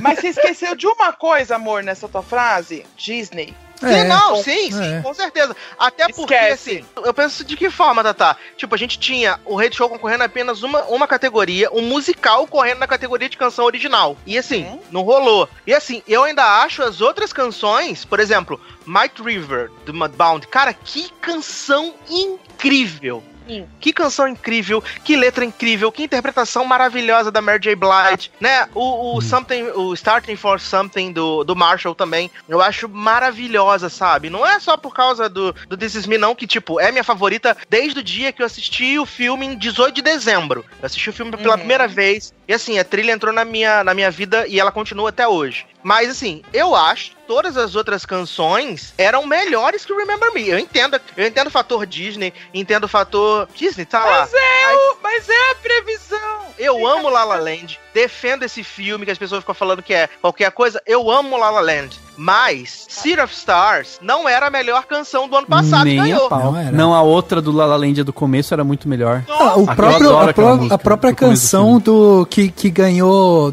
do 007 em 2016 em cima de Till It Happens to You, lembra da Lady Gaga? Exato, também. Eu acho que entra duas questões, vai só pra. A primeira é o Rei do Show. Eu sei que tem muita gente que ad- adorou o filme e tal, mas com a grande crítica e com mu- muita gente não pegou tanto. Eu particularmente acho que ele tem Não, vários problemas. um Não acho que ele é um problema filme. de é, história, de- de roteiro e tal. Sim, sim, sim, tem. tem. Então, eu acho que tem isso. Então, tipo, quando a qualidade do filme tem suas é, questões duvidosas, existe uma tendência, não necessariamente. Pode ser que o filme seja péssimo. Tipo, teve o, o, o Esquadrão Suicida ganhou maquiagem, né? Ou não? Maquiagem, É, sim, mas- é. enfim. Mas, tipo, assim, geralmente tem uma tendência de que ele não ganhe nenhum Oscar e tal, ou não, não, não consiga ganhar. E eu acho que um argumento que muita gente usou em relação ao Remember Me é que ele é muito associado ao filme. Eu acho que o This Is Me é uma música muito legal, uma música muito boa, mas ela, tipo, é uma música pra eu ouvir, entendeu? E, e tem muita questão da música vinculada ao filme. Então, você, se você ouve o Remember Me, você lembra do, do Viva a Vida é uma Festa, entendeu? Você associa ao personagem, você resgata o sentimento que o filme todo traz. Diferente do This Eu, eu Me, que é um momento porque específico. Remember Me toca 72 vezes ao longo do filme. Toca a versão dance, forró, folk, né, street dance, rap, R&B. Remix E aí, no do Alok. final, Certeza, certeza que ele toca a versão que vale. E- Exatamente, toca a versão que entra até lá, que entra até o, aquele samplezinho, aviões do forró, e toca. Entendeu? Não, não, gente, eu preciso dizer só uma coisa. Eu, por mim, votava no, no Sufjan Stevens lá, que pra mim a melhor, que- a melhor música era essa, mas eu já A sabia que eu não ia música ganhar. também é muito, gos- muito boa, muito gostosa essa música. O, o Rafa ficou até mudo. É que eu acho assim, essa categoria, ela já é, assim, é uma categoria de canção feita pra que seja voltada numa premiação de cinema. Já acho que aí já tem uma, uma coisa, sabe, no É mínimo... pra, as pessoas ganharem o EGOT, sabe o É. EGOT? Que é o Emmy, Grammy, Oscar, Tony. Pra pessoa conseguir ganhar tudo, ela precisa f- ser cantora, a maioria, né? E tá em musicais pra ganhar Tony, e no, no, no cinema ela vai ganhar por canção, e aí ela consegue o Emmy e o... Porque eu acho que essa é uma, é uma categoria muito problemática, porque você tem realmente isso, você tem um histórico de, de sabe, se não for tipo uma, uma canção muito emblemática, uma coisa, sabe, tipo, que tem uma grande distribuidora, produtora por trás e tal. Esses exemplos que a gente deu, tipo, da Lady Gaga em 2016, do ano passado quando a gente teve La La Land, é, tivemos também já Disney quando né, levou é, Let It Go com Frozen e tal. que tipo, foram os mesmos compositores do, do É, Viva, então, né? então eu acho que é uma categoria É. muito problemática essa, entendeu? Pro, pro Oscar. Não, eu não acho que é problemático. Eu acho que a grande questão é o que merece melhor canção. É, então- é a então, é canção muito que conecta com o relativo, filme, é a cara. questão que tem a ver com a história, é a, é a canção que simplesmente é a mais foda de todas, é a canção com mais gritaria, tipo, com as mulheradas. "Uá!" Edu, ou é eu a vou te mais falar, tranquila. eu vou te dar o argumento definitivo porque que levou Remember Me. Porque, meu, provavelmente os caras não sabiam votar e o filho tava em casa lá, Remember Me, Remember Me, votar nessa merda. Não, eu acho pegou. Ou teve confusão, sabe? Tipo, sabe, tipo assim, Olha. ah, é me, me o quê? Ah, deve ser Remember Me. É, Olha, eu esse. duvido, eu duvido, duvido que tem criança que fica cantando Remember Me. Let It Go, você ouve as crianças cantar até hoje. Até hoje, é, até hoje. Edu, não compara Frozen com Viva. Frozen é um filme infantil. Viva é filme pra adulto. Exatamente. O filho da puta que chorou no cinema, desculpa o palavrão, foi adulto. A criançada não entendeu porra nenhuma do que Ex- tava eu acontecendo. também acho. É óbvio que eles não vão cantar Remember Me. Não, mas e vai eu- toda aquela eu- criançada insuportável. Deixa estar, deixa estar. Ah, pra puta que pariu. Sim. Desculpa, fala Não, eu, eu concordo. eu Viva é eu pra adulto, não é pra criança. Eu gostei muito, eu gostei muito de Viva. Tanto que em animação eu tava torcendo pra Viva, porque de todas as animações eu acho que é a, a- a mais bonita, tem a mensagem mais legal, entendeu? Que tudo, tudo casa direitinho. Inclusive o momento do Remember Me no final do filme encaixa muito. Mas em canção original eu fiquei puto. Eu fiquei puto. Eu joguei, eu quase joguei o notebook no chão na hora. Porque eu estava muito puto. Real oficial. Mas o que importa é que This Is Me é a campeã no meu coração, campeã no chat. Tamo aí, vem peça na Broadway. Ai. É isso aí, é isso aí.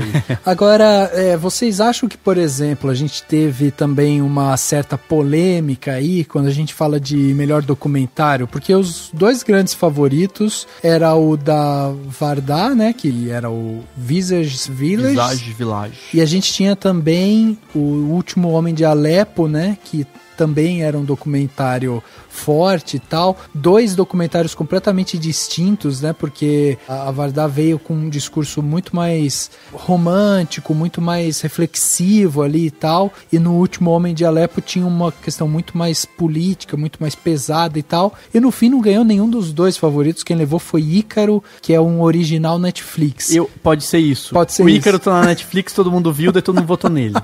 Porque a galera não vê. Mas A- o, Ícaro, mas o Ícaro é muito foda. É um documentário gigante, mas é um documentário muito, muito bom. Eu confesso que eu tava Netflix, postando. né? Eu tava postando no Faces Places, né? Visage Village, 50 nomes pro mesmo filme, eu, cara, sacaceta. mas os últimos Homens de Alepo, eu não tava postando tanto porque ano passado o Capacetes Brancos ganhou, né? E é É, praticamente a mesma temática, mesma- mesma coisa. Mas eu confesso que eu também fiquei meio passado, assim, com o Faces Places não ganhando. Mas eu vi o Icarus, eu, assim, eu não sou uma pessoa que eu curto muito documentários, mas eu achei um puta do documentário, achei muito foda real. Uhum. Então, é, é isso que é outro argumento, né? Ah, estamos falando de um original Netflix, pronto, a Netflix agora tem um Oscar Ah, a- a quebrando Netflix- a barreira Eu acho por que ela ser já um teve, teve por curtas, né? Por curta, É, mas é, ela mas tá nada- melhorando isso. Eu acho que eles, pelo menos, enfim, é, é muito louco, porque tem muito produtor de Hollywood que ficou meio puto porque eles não gostam da Netflix. Porque eles não, por quê? Porque a Netflix não joga o jogo, entendeu? O- esse jogo de lançar não sei de que jeito. Mas o fato de ter dado um Oscar pra ela pode ser parte do jogo também, né? Então, É, pode. É, também, sim. Eu- a gente percebe nas nossas discussões de Oscar que nenhum a gente, tipo, existem prêmios que a gente fala, não, olha, esse daqui foi merecido, mas a palavra merecido e mere, sabe, nela quase nunca é implementada nas categorias. A gente fala, ah, esse aqui ganhou. Não, mas veja bem, é Disney, mas veja bem esse aqui, ó. Esse aqui tá o, o irmão do produtor é muito amigo. Como o Oscar tá chato, amigo. Você tá vendo? Vamos fazer um Oscar com os nossos veículos. É, vamos fazer uma grande votação. Vamos juntar todos os nossos veículos e lançar o Oscar dos amigos da imprensa, que realmente gosta de se divertir. A gente vai respeitar os amiguinhos É. que gostarem do Splash 2, tá tudo bem. Tudo bem, exatamente. Não dá, não dá, tá chato, gente. Tá, Tá muito chato, chato, é tá muito político. Acabou a festa, entendeu? Ah, é. Mas a gente vai continuar É. assistindo também. Vamos, Sim, É vamos, que é. nem The Sim, Walking. Dead, cada episódio tá mais merda, mas a gente continua assistindo.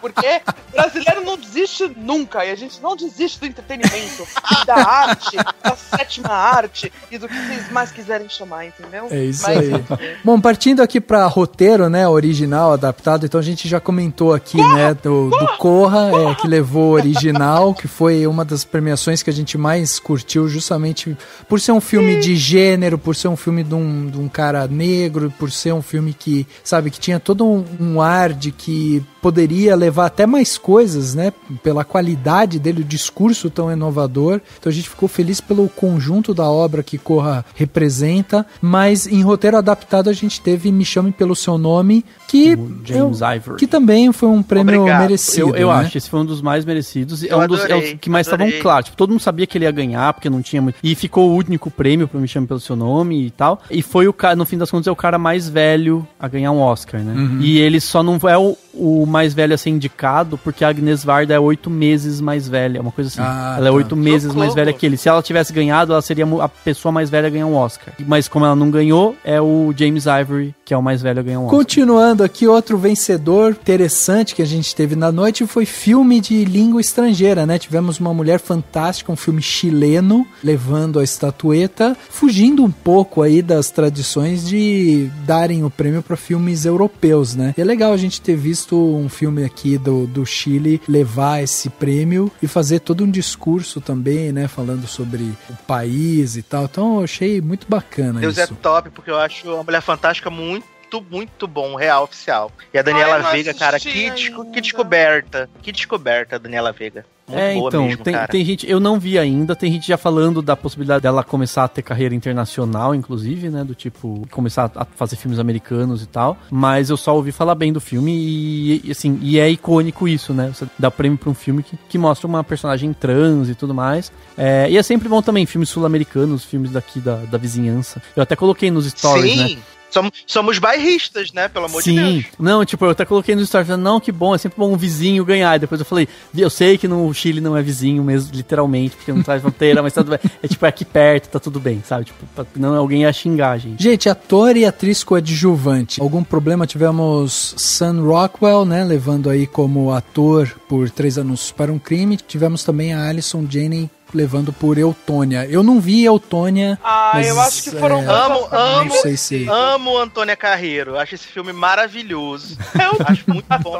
Antônia Carreiro. Inclusive, a Alison Janney tá muito boa. Ela não era a minha favorita. Tenho que confessar, Tatá vai me agredir nesse momento, mas minha ta- favorita era a Laura Metcalf. Era a minha favorita. Eu gosto muito do que ela faz em Lady Birds. Eu acho que ela, ela pega uma personagem que poderia ser só uma personagem chata e é uma personagem com várias nuances, né? Uma, uma- várias dimensões. E eu gosto muito de verdade da. Ó, da- é- é- é- Edu, eu, eu defendo ela na minha crítica, inclusive. Eu falei que a melhor coisa de Lady Bird foi ela, porque é, o filme poderia ser da mãe, não da filha. É. A personagem Eu- dela sim. realmente é bem escrita, é bem legal, são os momentos mais interessantes. É a única coisa de Lady Bird que eu defendo. Eu concordo com você, eu também, eu também teria ficado muito feliz se ela tivesse ganho o, o Oscar de melhor Gente, atriz. mas, mas vocês não acham que a Leslie, Leslie. Tudo bem que eu acho que a, a, a concorrência tava forte aqui, né? Tirando a A Octavia única, Spencer. Dani, Dani, é um- exatamente, porque o Octavia Spencer estava indicada por ser Octavia Spencer, porque ela tá fazendo É. a mesma personagem em todos os filmes. Apenas Sim. eu amo Octavia Spencer, amo, amo ela de paixão, amo ela de paixão. Eu disse isso pra ela quando ela esteve aqui no Rio pra, pra Cabana. Mas assim, ela não está fazendo nada diferente. É a mesma Ela, coisa. melhor filme que ela, Entendeu? melhor atuação dela é o do Ryan Coogler lá, aquele, sabe como que chama o,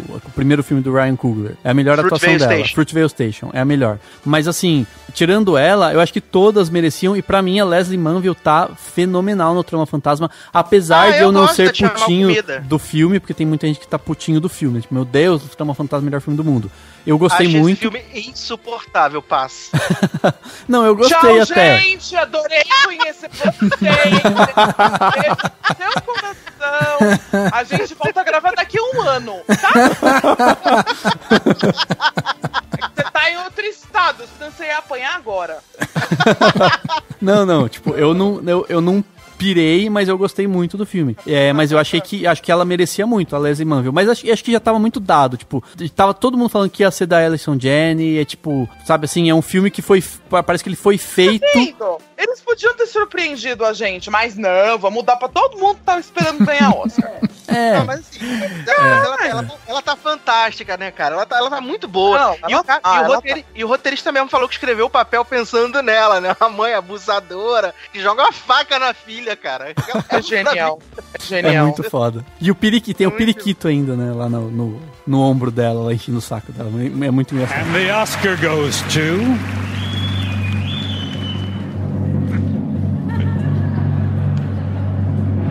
The Shape of Water. Guillermo del Toro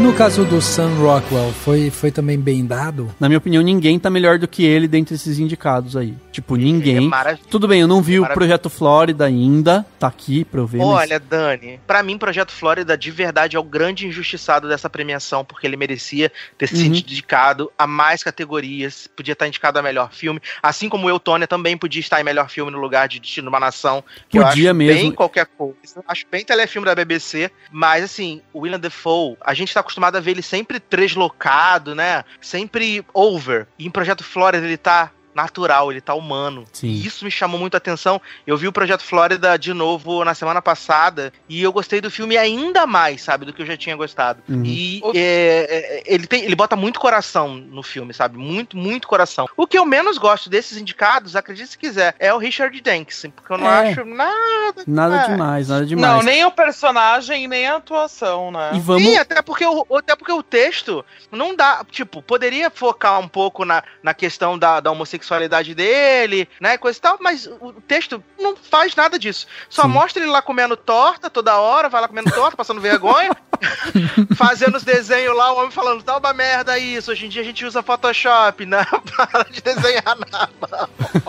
E vamos combinar, o Christopher Plummer só foi indicado porque ele substituiu o Kevin Spacey em três dias que ele ganhou pra, pra- Pronto. só- ah, vamos dar um prêmio aqui. assim, é, foi só pra dizer, olha, Kevin Spacey, olha que você perdeu. Até porque a galera que tinha visto a versão do Todo o Dinheiro do Mundo com o Kevin Spacey disse que ele tava pra ser indicado também de qualquer forma, né? Então a academia deu um tapinha com luva de pelica na cara do Kevin Spacey e falou: você tá enterrado e ó, aqui. Plummer É, filmou em é, nove dias e é exatamente. nóis, entendeu? Isso, Mas, exatamente. É. mas Sam Rockwell é um monstro, né? No filme. Ele é um monstro, assim. Ele é maravilhoso, assim. Ele é, ele, ele é incrível. Eu Quem? fiquei. Eu, o Sam Rockwell. Eu vi o filme Ah, três sim, vezes. sim, sim. E assim, toda vez que ele, ele aparecia na tela, eu ficava assim, não acreditando que esse cara tá fazendo. Surreal. E você, você, tipo, gosta dele, odeia ele e ainda dá risada com ele, né? Tipo, Isso é, exatamente. é, é isso, exatamente. assim. É, é maravilhoso. Por exemplo, assim, aquela cena que a Frances entra na delegacia e chama ele de pedaço de merda, e ele responde, aí o Zelko Ivanek tá falando, você não pode responder agora a pessoa chama você de pedaço de merda. É maravilhoso É. a reação dele. Sempre gostei dele, assim, sempre achei ele um, ter- um ator muito interessante, sabe? Ele faz. Eu adoro ele ele. gosta de fazer uma, ele- uns personagens muito provocativos e tal, né? E, e, assim, por isso também achei que foi uma, um, um belo prêmio. E aqui, a partir disso, né? Tipo, ator, atriz coadjuvante, melhor ator, melhor atriz, direção e tal, a gente sempre tem uma cota aqui da galerinha de, de melhor filme, né? Porque como que você vai colocar, tipo, sei lá, melhor ator coadjuvante e não vai colocar algum dos indicados a melhor filme que, que trabalharam, né, ali. Então por isso que eu acho também que o Richard Jenkins estão ali, porque eu também acho a atuação dele muito, assim, na média, não tem nada demais, mas eu acho que ele tá na cota a forma da água, entendeu? Tipo, a forma da água tinha que ter alguém indicado aqui a melhor ator coadjuvante. Pra você ver como os homens tão bosta nesse ano, né? Tipo, nem pra dar atuações boas. Porque, tudo bem que melhor ator tem bons atores, mas assim, melhor atriz e melhor atriz coadjuvante é tipo, é uma mais foda que a outra, sabe? Se você não desse É uma porrada. prêmio pra Francis e desse pra Margot Robbie, pra Meryl Streep ou pra Sally Hawkins, mano, tava todas, tava, não, não poderia dizer que tava injusto, entendeu? Se desse prêmio pra qualquer uma das, das de melhor atriz coadjuvante, também, tipo, todas fodas. Agora, ator coadjuvante tá fraco mesmo. Tirando Agora eu o vou te falar, você falou de melhor ator, melhor atriz. Melhor ator, eu gostei da atuação do Gary Oldman, mas eu lá em cima teria entregado o prêmio pro Daniel Day-Lewis, porque Com não vi, não vi uma atuação melhor do que a dele, cara. Eu achei assim, a atuação que ele faz é Você ama e odeia ele em minuciosa. 30 É. segundos. É Exato. insuportável. Você pode não Exato. ter gostado do filme, Edu, mas isso tem que concordar, cara. Porque o que ele, o que ele, que faz, ele faz. com o personagem dele nesse filme é, é tipo. Não, pô, o, o filme é ele. Se fosse qualquer outro ator, esse filme seria esquecido no momento que você acabasse de assistir ele. Sim. Ele, ele tá um monstro. Ele, ele, ele, Ele tá um domina a, ele domina a tela de uma forma que é, é magnética você ass- assistir. O, o- fora que ele. Você, tipo, se você não tem no crédito lá, Gary Oldman, você não sabe que é ele. Peraí, a gente não tava falando do Daniel Day-Lewis? Ah, tá, perdão. Todo esse elogio foi pro Gary Oldman, cara. Gary Oldman. Gente, eu, Cara, vou até, eu vou até o Rio de Janeiro na cara desse menino, né? É, mas assim, mas assim. Não, mas deixa, deixa, deixa eu aproveitar. Deixa eu aproveitar então, já que estamos falando do Daniel Day-Lewis, assim, eu acho, eu acho o Trama Fantasma um porre. Eu acho o lá o Woodcock, o Woodpeck lá, sei lá, eu acho ele o puta do chato do caralho, real oficial. Mas o Daniel Day-Lewis é um puta de um ator. E assim, quando o Paul Thomas Anderson dá uma liberdade incrível pra ele fazer as coisas em cena, cara, ele é muito bom. Ele é muito bom. A, mi, a minazinha lá, Vicky Creeps, né? Vicky Creek, sei lá, ela é muito ruim. Ela é bem ruim. Mas ele não, ele é muito bom. Eu não gosto do filme no geral, não gosto da trilha, não gosto da forma que a, que a trama se desenrola. Achei um saco de verdade, fiquei muito cansado. Mas o, o Daniel Day-Lewis é, é top, cara. É top, top, topíssimo. Ele é muito bom. Ele merecia, ele merecia estar indicado, sim. Olha, eu vou te falar uma cena Mas eu acho pra que mim. tá bem forte aqui, porque eu acho que, assim, eu gostei muito da atuação do, do Timothée. E eu entendo É perfeitamente. favorito. e, e do Kaluuya também, do Daniel Kaluuya, É o meu, foda. meu favorito é o Timothée. Então, mas, é, mas eu entendo perfeitamente que a maioria das pessoas olha e fala assim: é só pra, tipo, enaltecer jovens atores e, tipo, espera eles virem de novo aí com outros grandes personagens, entendeu? Mas é, ah, porque. não, não, não, não é, não é. Jennifer Lawrence ganhou o Oscar sem merecer. Também A acho. Emma Stone ganhou o Oscar sem merecer. Então, não, não tem essa de tipo, ah, a gente indica os jovenzinhos. Não, eles ganham também, não sei porquê, mas eles É, ganham. Não, mas eu acho que é o pensamento de muita Tá. gente. Tem muita gente falando assim: ah, não, mas o Timothée ainda vai ter muita chance. E, tipo, não sei se vai ter muita chance, vai que ele não pega mais projeto bom. Ah, É que o Dani- vai o sim. Dani- Agora tem uma observação, uma observação sobre um filme bom e um filme horrível. Ele faz um personagem muito interessante no Lady Bird, que é uma bosta, e quando ele aparece, ele rouba a cena. Então você vê que ele é um bom ator e ele é versátil, bom, porque ele ele, é faz, de um lado, um cara dos anos 80, super artístico, inteligente pra caramba, que tem todo um domínio, tipo, físico, a postura, tem, o, o, o personagem dele é complexo e é introduzido no meio de um Uhum. possível novo romance, etc. E do outro lado, um adolescente revoltado com o cabelo mal cortado que só quer comer as menininhas. Uhum. Então, tipo, você Sim. pega arquétipos completamente distintos e ele faz um personagem muito interessante. Então, ele é versátil, ele tem talento e eu entendo a indicação dele, sim. Respeito, mas não só por não só por esse filme, mas também pelo lance do que ele, o pouco que ele fez em Lady É que o Bird. Dani tá tentando analisar a cabeça do associado que fez a votação, É, entendeu? sabe, as pessoas vão votar e eu falo assim, ah, não, não sei o que, sei lá, eu acho. Mas, mano, ó, ele vai, ó, só pra citar aqui, o Timothée vai estar no próximo filme do Woody Allen, ele vai protagonizar o próximo filme, filme do Woody Allen, o A Rainy Day in New York. errou a carreira. É, Ah. ele vai estar num próximo, num filme que ele vai ser o Henrique V, né, da França lá, do David Michaud, e tem um filme com o Steve Carell, que acho que vai ser uma comédia, uma coisa assim, que também ele vai estar, então, tipo, tem três filmes aí pro cara só pra esse ano, pelo jeito, Entre- entre esse ano e 2019. Só o meu comentário final sobre o melhor ator, eu acho assim que a diferença é que a, a atuação do Gary Oldman ela é muito mais teatral e a do Daniel Day-Lewis ela é muito mais visceral, entendeu? Ela é real, ela é mais pé no chão, assim. Por isso, e eu, eu É. me identifico mais com esse tipo de atuação do Daniel Day-Lewis, que traz uma coisa Sim. intrínseca, assim. Do Que Gary é Oldman, do que o Timothée faz. maquiagem. adora. Que é o que o adora. Timothée faz. o Eles são apaixonados por Ah, transformação puta porra. E, é, e, e pelo e, e o. Gary Oldman ele flerta com o como que chama aquele negócio o overacting tem É, umas ele horas que pra, pra virar um over tem aquele everything, que ele, né, que ele é famoso Isso. dos memes lá. que é isso, é tipo, meu, é muito overact. A, a Tatá falou da questão da, da maquiagem da academia ser maravilhada com maquiagem e transformação. Pra mim, um, um ano que eu odeio a academia é o ano que o Leonardo DiCaprio foi indicado pelo Lobo de Wall Street, que ele tá um monstro engolindo tudo, e aí eles dão pro Matthew McConaughey porque ele fez uma transformação, né? Sim, porque sim. foi lá. Que eu acho o, o Dallas Buyers Club um filme Sim, sim. bem nota 5. Bem nota 5. O, o, o Matthew tá legalzinho, o lá o. Ah, é o Philadelphia 2, né, gente? O homenzinho lá, o, aquele trouxa, barbudo lá do 50 Seconds to Mars, sei lá. O Jared. Leto, Coringa. Jared. Leto, Sim, é. Ele tá legal, mas assim, naquele ano, o Leonardo DiCaprio estava destruindo Sim, sim, o Lobo de sim, Wall Street. Ele, era, ele tava muito acima da galera, sabe? E, e a academia priorizou a transformação. Eles adoram, eles adoram isso. Teve a Charlize Theron na época do Monster. Eles adoram essa coisa Uhum. de transformação.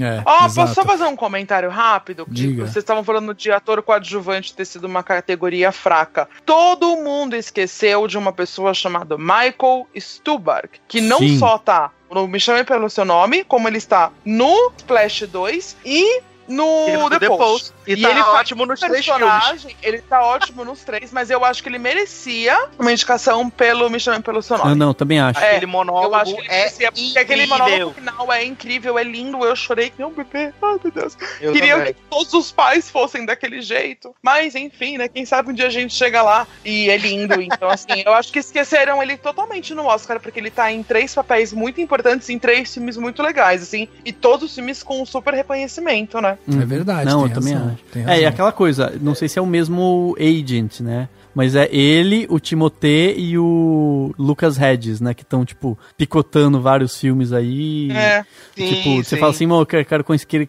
que- Se eu for ator, vou querer contratar esse agente deles aí, porque Agora, melhor atriz, a gente falou aqui, né, também da Frances McDormand, mas e aí, o que, que vocês acharam? Foi uma boa indicação e tal. Eu confesso que eu ainda não assisti Três Anúncios para um Crime, mas é um filme, pelo que eu li e tal, é um filme bem é, orquestrado para uma atuação dela, né?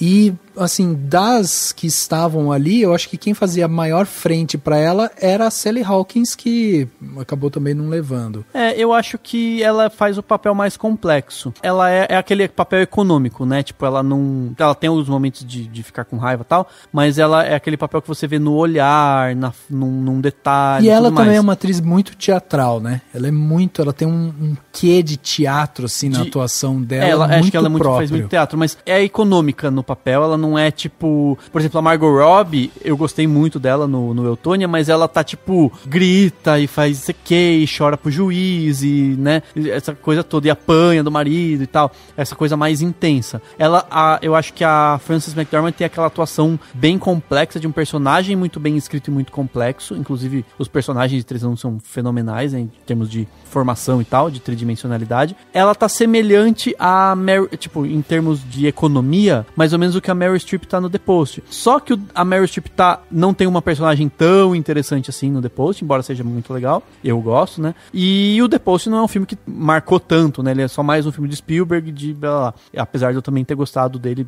né? Mas enfim. Então é muito por isso, assim, eu acho que ela é a mais justa, ela foi a melhor, melhor indicação, assim, melhor indicação e a melhor opção pra ganhar mesmo. pra. Eu amo a Frances McDormand no, no Três Anúncios. Eu acho que ela tá incrível, sabe? Você vai vendo, assim, a atuação dela, algumas vezes muito serena no olhar, algumas vezes muito bruta, né? Muito forte. E eu gosto, gosto muito disso. É, a Sally Hawkins, cara, eu acho ela, acho ela fofinha no filme, mas assim. Né? Não consigo gostar da persona Sally Hawkins, me atrapalha. Ai, Um gente, desculpa, mas um filme que tem aquela abertura, aquela introdução de personagem, é meio difícil da gente começar a ter carisma, né? Ah, gente, ninguém, ninguém aguenta a mudinha, a mudinha praticante de, de zoofilia. Não dá. Ninguém. Não, não, não, não, não, não, não, não, tipo, não. A grande história de amor do século. Ah, tá. Ok, É. tá bom. Nada na fanbase. Na fanbase. Coloquem nos comentários pro pessoal em casa o vídeo do Screen Junks que, com- que compara o- a forma d'água com o Splash.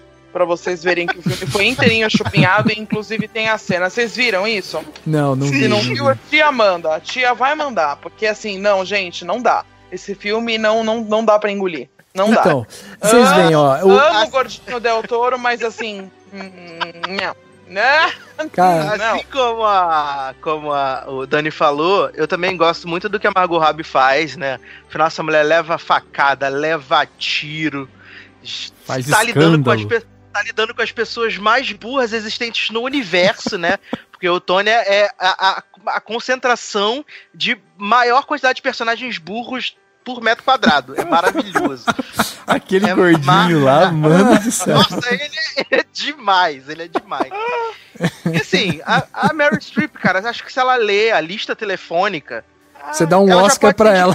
Cara, a- eu tava conversando com, com os amigos, a gente pode trocar o prêmio de Oscar pra ou Meryl Streep ou Viola Davis, porque qualquer coisa que elas fizerem é, é, é topíssimo, entendeu? Mas olha só, a gente tava falando aqui de, de A Forma da Água, né? E eu também fui dessa linha de que eu não, não- A gente vai falar sobre A Forma da Água no próximo podcast, tá? Os últimos filmes que faltam aqui, né? Da lista do- dos podcasts que a gente tá fazendo sobre os filmes que concorreram ao melhor filme, né? No Oscar. Mas eu também não fui esse apaixonado pela Forma da Água e tal. Em compensação, ele foi o grande vencedor da noite, porque inclusive levou, né? Melhor direção com o Del Toro e melhor filme. Eu acho que se fosse para dar um, um prêmio significativo para Forma da Água e tal, como estava se desenhando que isso ia acontecer, eu teria dado, tipo, melhor filme para Forma da Água e aí pega a direção e dá pro Jordan Peele, sabe? Ou faz o oposto, dá melhor filme para Corra e Ah, a já direção deram pra- cenografia, tá bom. É, tá exa- bom. Entendeu? Exatamente, eu também acho. Foi isso, deram cenografia, tá tudo certo, vai, foda-se. Agora. Ah, não, não dá. Não dá, não dá. Não, me chama pra esse podcast, que eu vou, falar mal.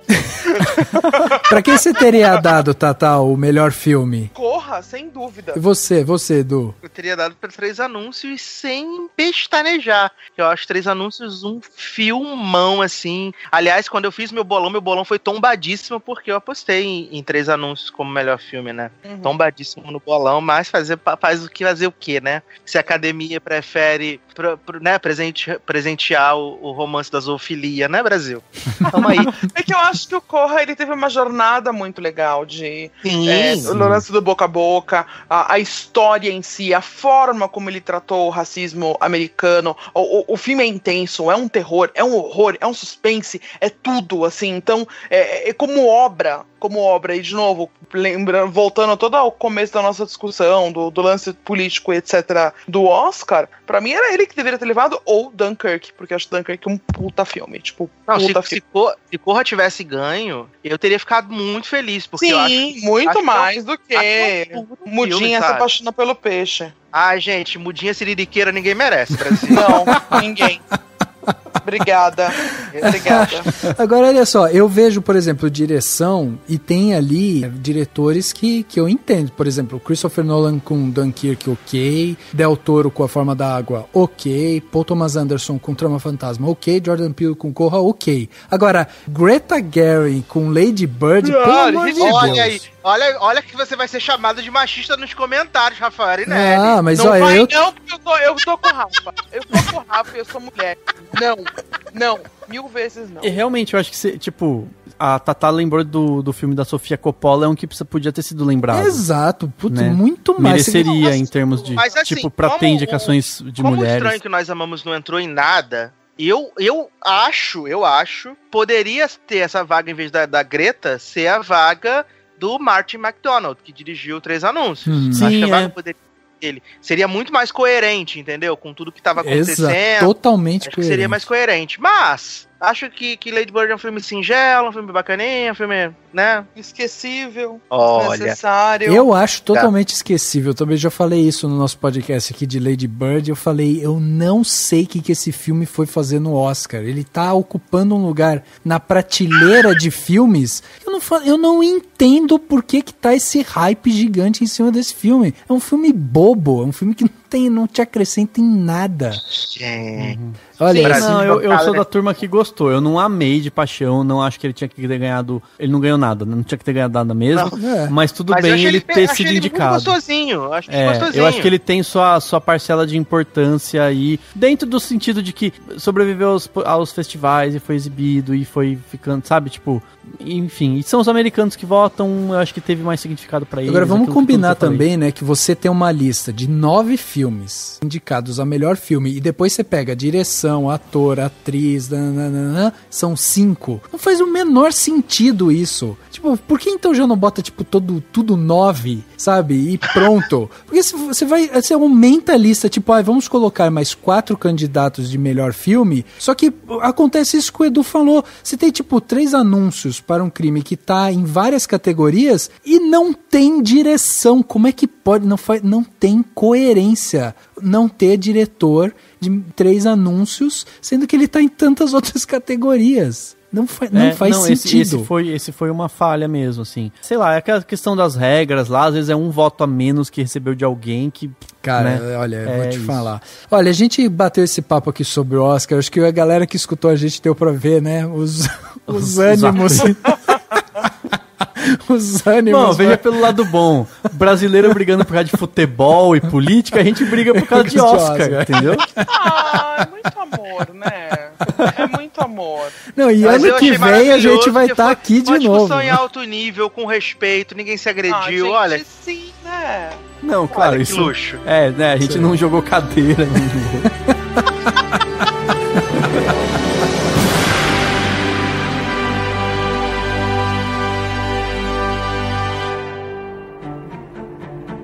Dicas para a sua semana?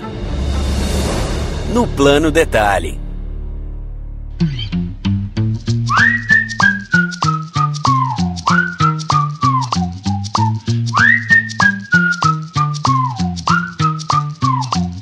Chegando aqui no plano detalhe, aquele momento fofura, onde não tem briga, onde não tem discussão, né? A não ser que você não goste da indicação do coleguinha. Daí eu acho que vai, vai complicar um pouco, né? Mas é, vamos aqui dar aquela dica para que você possa aproveitar melhor a sua semana com os nossos convidados aqui. Dessa vez eu vou começar o plano detalhe, né, para estrear aqui e vou dar um plano detalhe que é uma experiência. Se você tiver a oportunidade de você passar por essa experiência, eu acho que você deveria se dar de presente. Eu fui, fiz isso, dei de presente pro meu pai. Foi aniversário dele no começo de janeiro. E aí a gente reuniu ali a família e tal e fomos todos pro iFly um lugar lá em São Paulo que simula queda, né? De pular de paraquedas, esse tipo de coisa. E é muito legal, porque assim, primeiro, não tem risco, né? Você não tem problema ali e tal, para quem tem medo de repente de altura, essas coisas, é um lugar super tranquilo. Você pula e aí coloca a roupa e fica ali planando e tal. E a experiência é muito bacana. Para quem tem vontade de repente de pular de paraquedas, ou para quem acha que poderia se dar bem fazendo isso e tal, eles têm pacotes assim para quem quiser ser saltador, eles têm pacote para quem quiser ir lá só ter uma experiência de um dia, como foi o nosso caso e tal. Então tem pacote para tudo que é tipo e vale a pena se você quer, sabe, curtir um pouco dessa, dessa adrenalina. Eu pulei, achei muito bacana e agora eu nem pensava nisso, mas agora eu já penso em pular de paraquedas, porque a sensação é tão gostosa de você, sabe, ficar com o corpo solto e tal ali, sentindo aquela leve brisa no seu rosto enquanto você pula e tal. Então acho que, que é uma experiência muito válida e meu plano detalhe hoje é para uma experiência. Tô inovando, hein, Daniel? Olha aí. Ó, olha aí. muito bom. Mais dois planos detalhe que sabe não ver com uma, uma filosofia de vida, de repente. Nó, é, não, e, e você anotou tudo que você, você fez. O Rafa fez coisas nas férias e anotou. É, fui anotando tudo. Foi anotando tudo. Então ele tem, tipo, pro ano todo coisas que ele fez em janeiro. Isso! Ai, meu Deus. Edu, vamos pro seu plano detalhe. O que, que você trouxe pra gente nesse lindo podcast sobre o Oscar? Que que você, qual que é seu plano detalhe? Como sempre, eu sou a pessoa que sempre roubo, né? Então eu trouxe duas séries maravilhosas pra vocês. Uma série, ela é muito nova, muito, muito nova mesmo. Ela tá. Essa semana foi o segundo episódio dela, que se chama Good Girls. É uma série da NBC que vai mostrar. Ela acompanha três mães. Uma que é casada com Matthew Lillard, cara. Coitada dela. É a- a...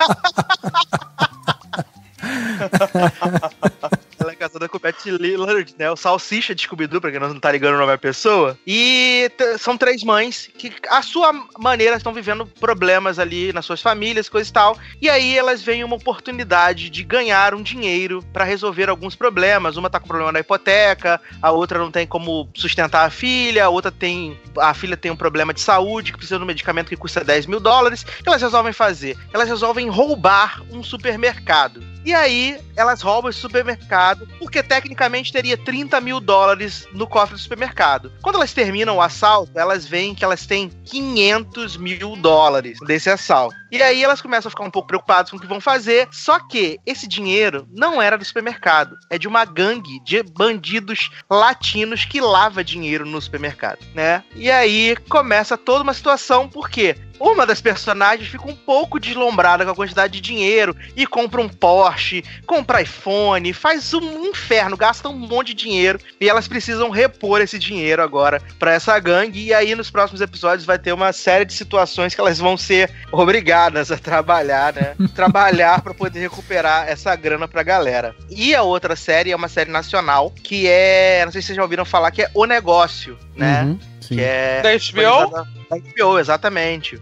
Amo, pela... assisti todas as temporadas. Aí, ó, que beleza. Então tá, vai Amo. poder afirmar que é uma, é uma Amo. produção nacional maravilhosa. Sim, é demais, é demais, é Muito bem demais. feita, elenco maravilhoso, texto muito legal. Do que se trata o negócio? Se trata sobre prostituição. Então talvez É luxo. atra- É luxo. Muito luxo, muito luxo.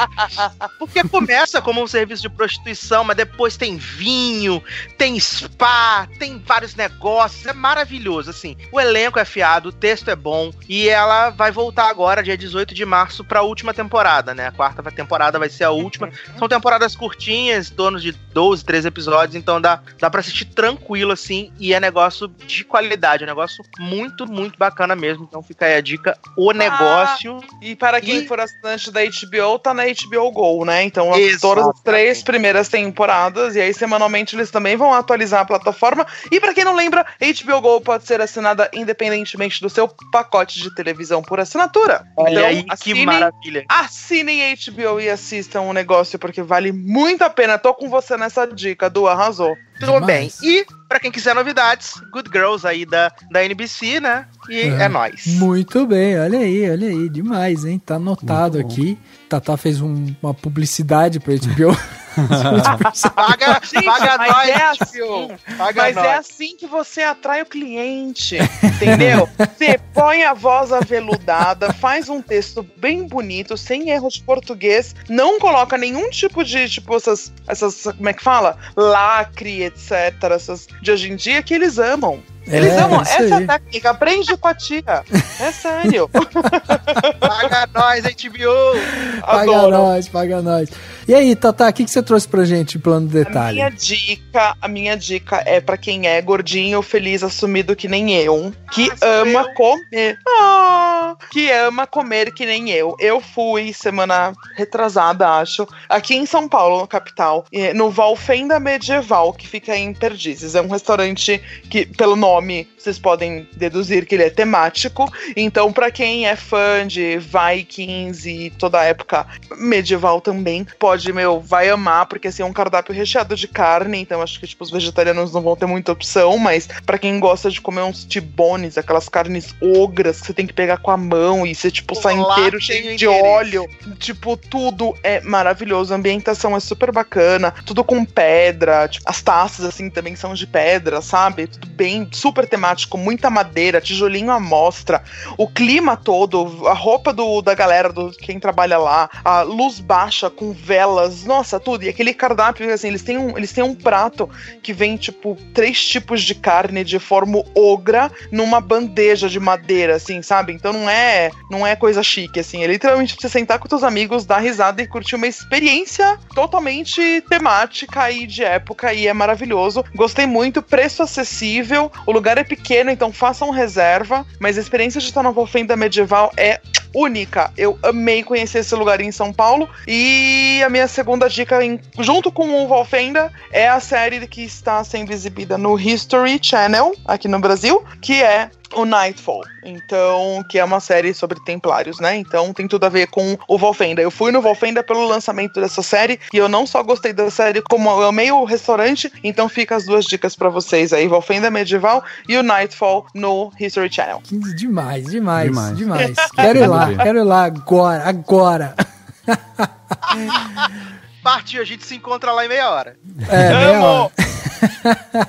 E você, Dan, seu plano de detalhe para finalizarmos esse quadro nesse podcast 263? Rapidinho aqui eu vou falar sobre, vou sugerir a, o vídeo, porque todo mundo fez, muito, todo mundo não, muita gente fez live, né, no, no Oscar. Então enquanto faz, tá no Oscar, a pessoa faz live lá, lá, aí, aí tem milhões de pessoas vendo umas lives, tipo, lá no YouTube, que você fala, gente, por que- mas tudo bem. Aí, então eu queria sugerir para as pessoas assistirem uma live mesmo que depois, né, tipo, tendo passado, do Pablo Vilaça. Eu sei que tem gente que não gosta muito dele, mas eu, eu acho que ele é um, um puta de um crítico que ensina muita coisa. E a live dele do Oscar ficou muito legal. Tipo, ele fez lá em Portugal, ele tava em Portugal e quatro da manhã, né, em Portugal. Que já não vai mais tarde. ser live, né? Vai ser dead.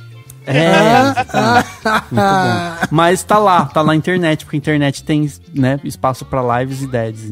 E, enfim, então vou sugerir para as pessoas que quiserem, sei lá, relembrar o Oscar com os comentários dele, eu acho que vale a pena.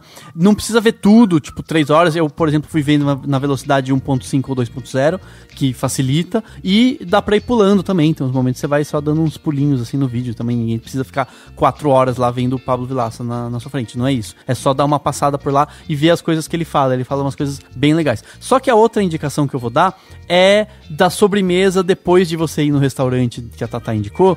Você pode comer uma sobremesa em casa. Porque eu só pra vocês entenderem, eu fui outro dia no supermercado, quis comprar um sorvete pra levar inclusive pro trabalho. Eu falei, ah, quer saber, eu vou levar pra galera, né, tá calor, tal, enfim. A gente divide lá todo mundo. E aí eu não quis comprar aqueles de sempre, né, esses sorvetes e tal, e vi um que eu comprei pra, arriscando e, e é espetacular, que é o sorvete de panacota italiana da Portofino, da marca Portofino. Então, se você encontrar ele, eu, eu não sei se você encontra em qualquer, em qualquer supermercado, em qualquer lugar, mas se você encontrar esse, o sabor é panacota italiana e a marca é Portofino. Ela tem, a- não sei se ela é nova, não sei. Tem né, vários potes lá e, e esse, vem num pote redondo, grandão, bem americano, sabe aquela coisa pra você comer em casa chorando depois do de, de tomar fora do crush? é. E, e, sabe, tipo, vendo, sei lá, algum filme, alguma comédia romântica, ele é meio nesse, nesse modelo. Mas é uma delícia o sorvete, é uma delícia, assim, tipo, com aquele saborzinho de frutas vermelhas e tal. E, enfim, fica a indicação porque tipo, não precisa ser só de flocos o tempo inteiro. Então, próximo churrasco que você for, leva esse que é muito gostoso.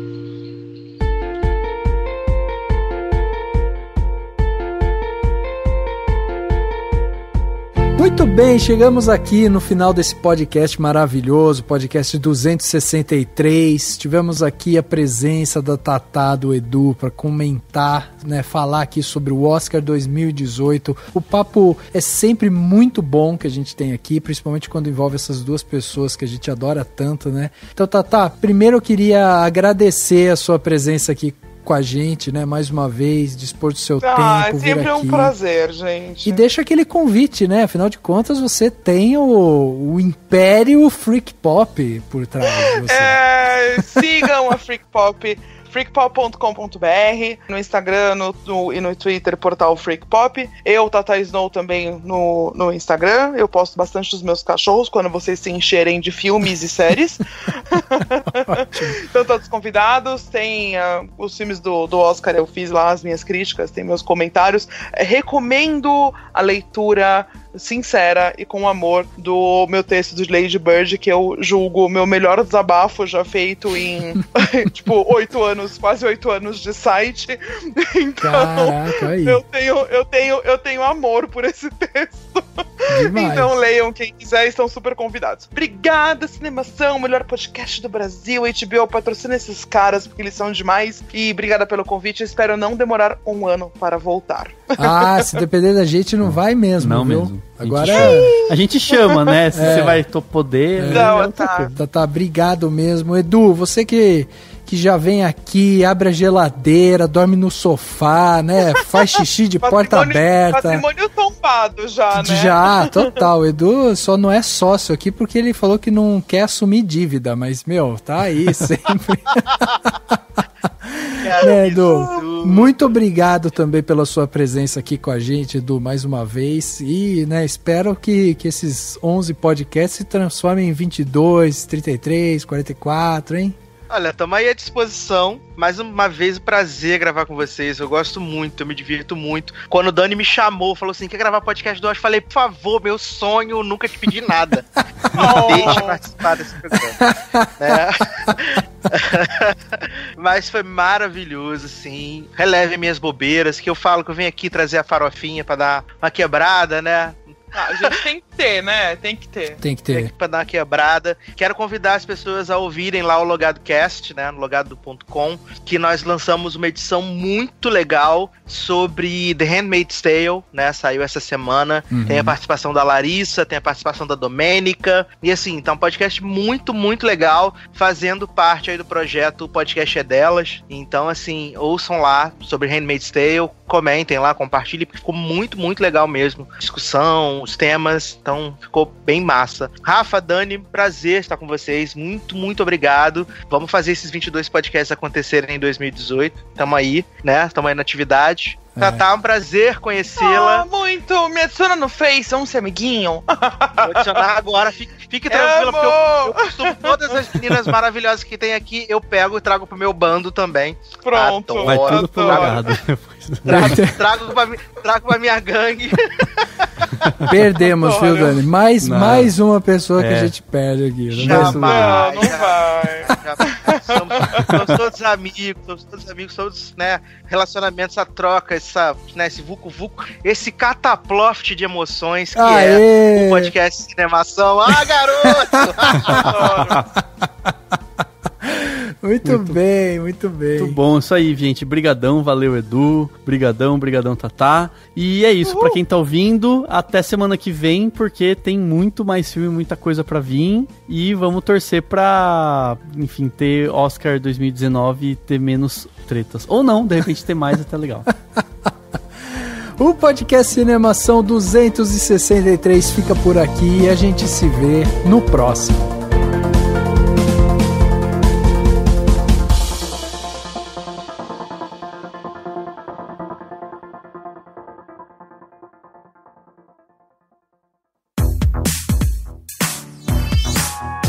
Podcast foi editado pela Isso Aí Design.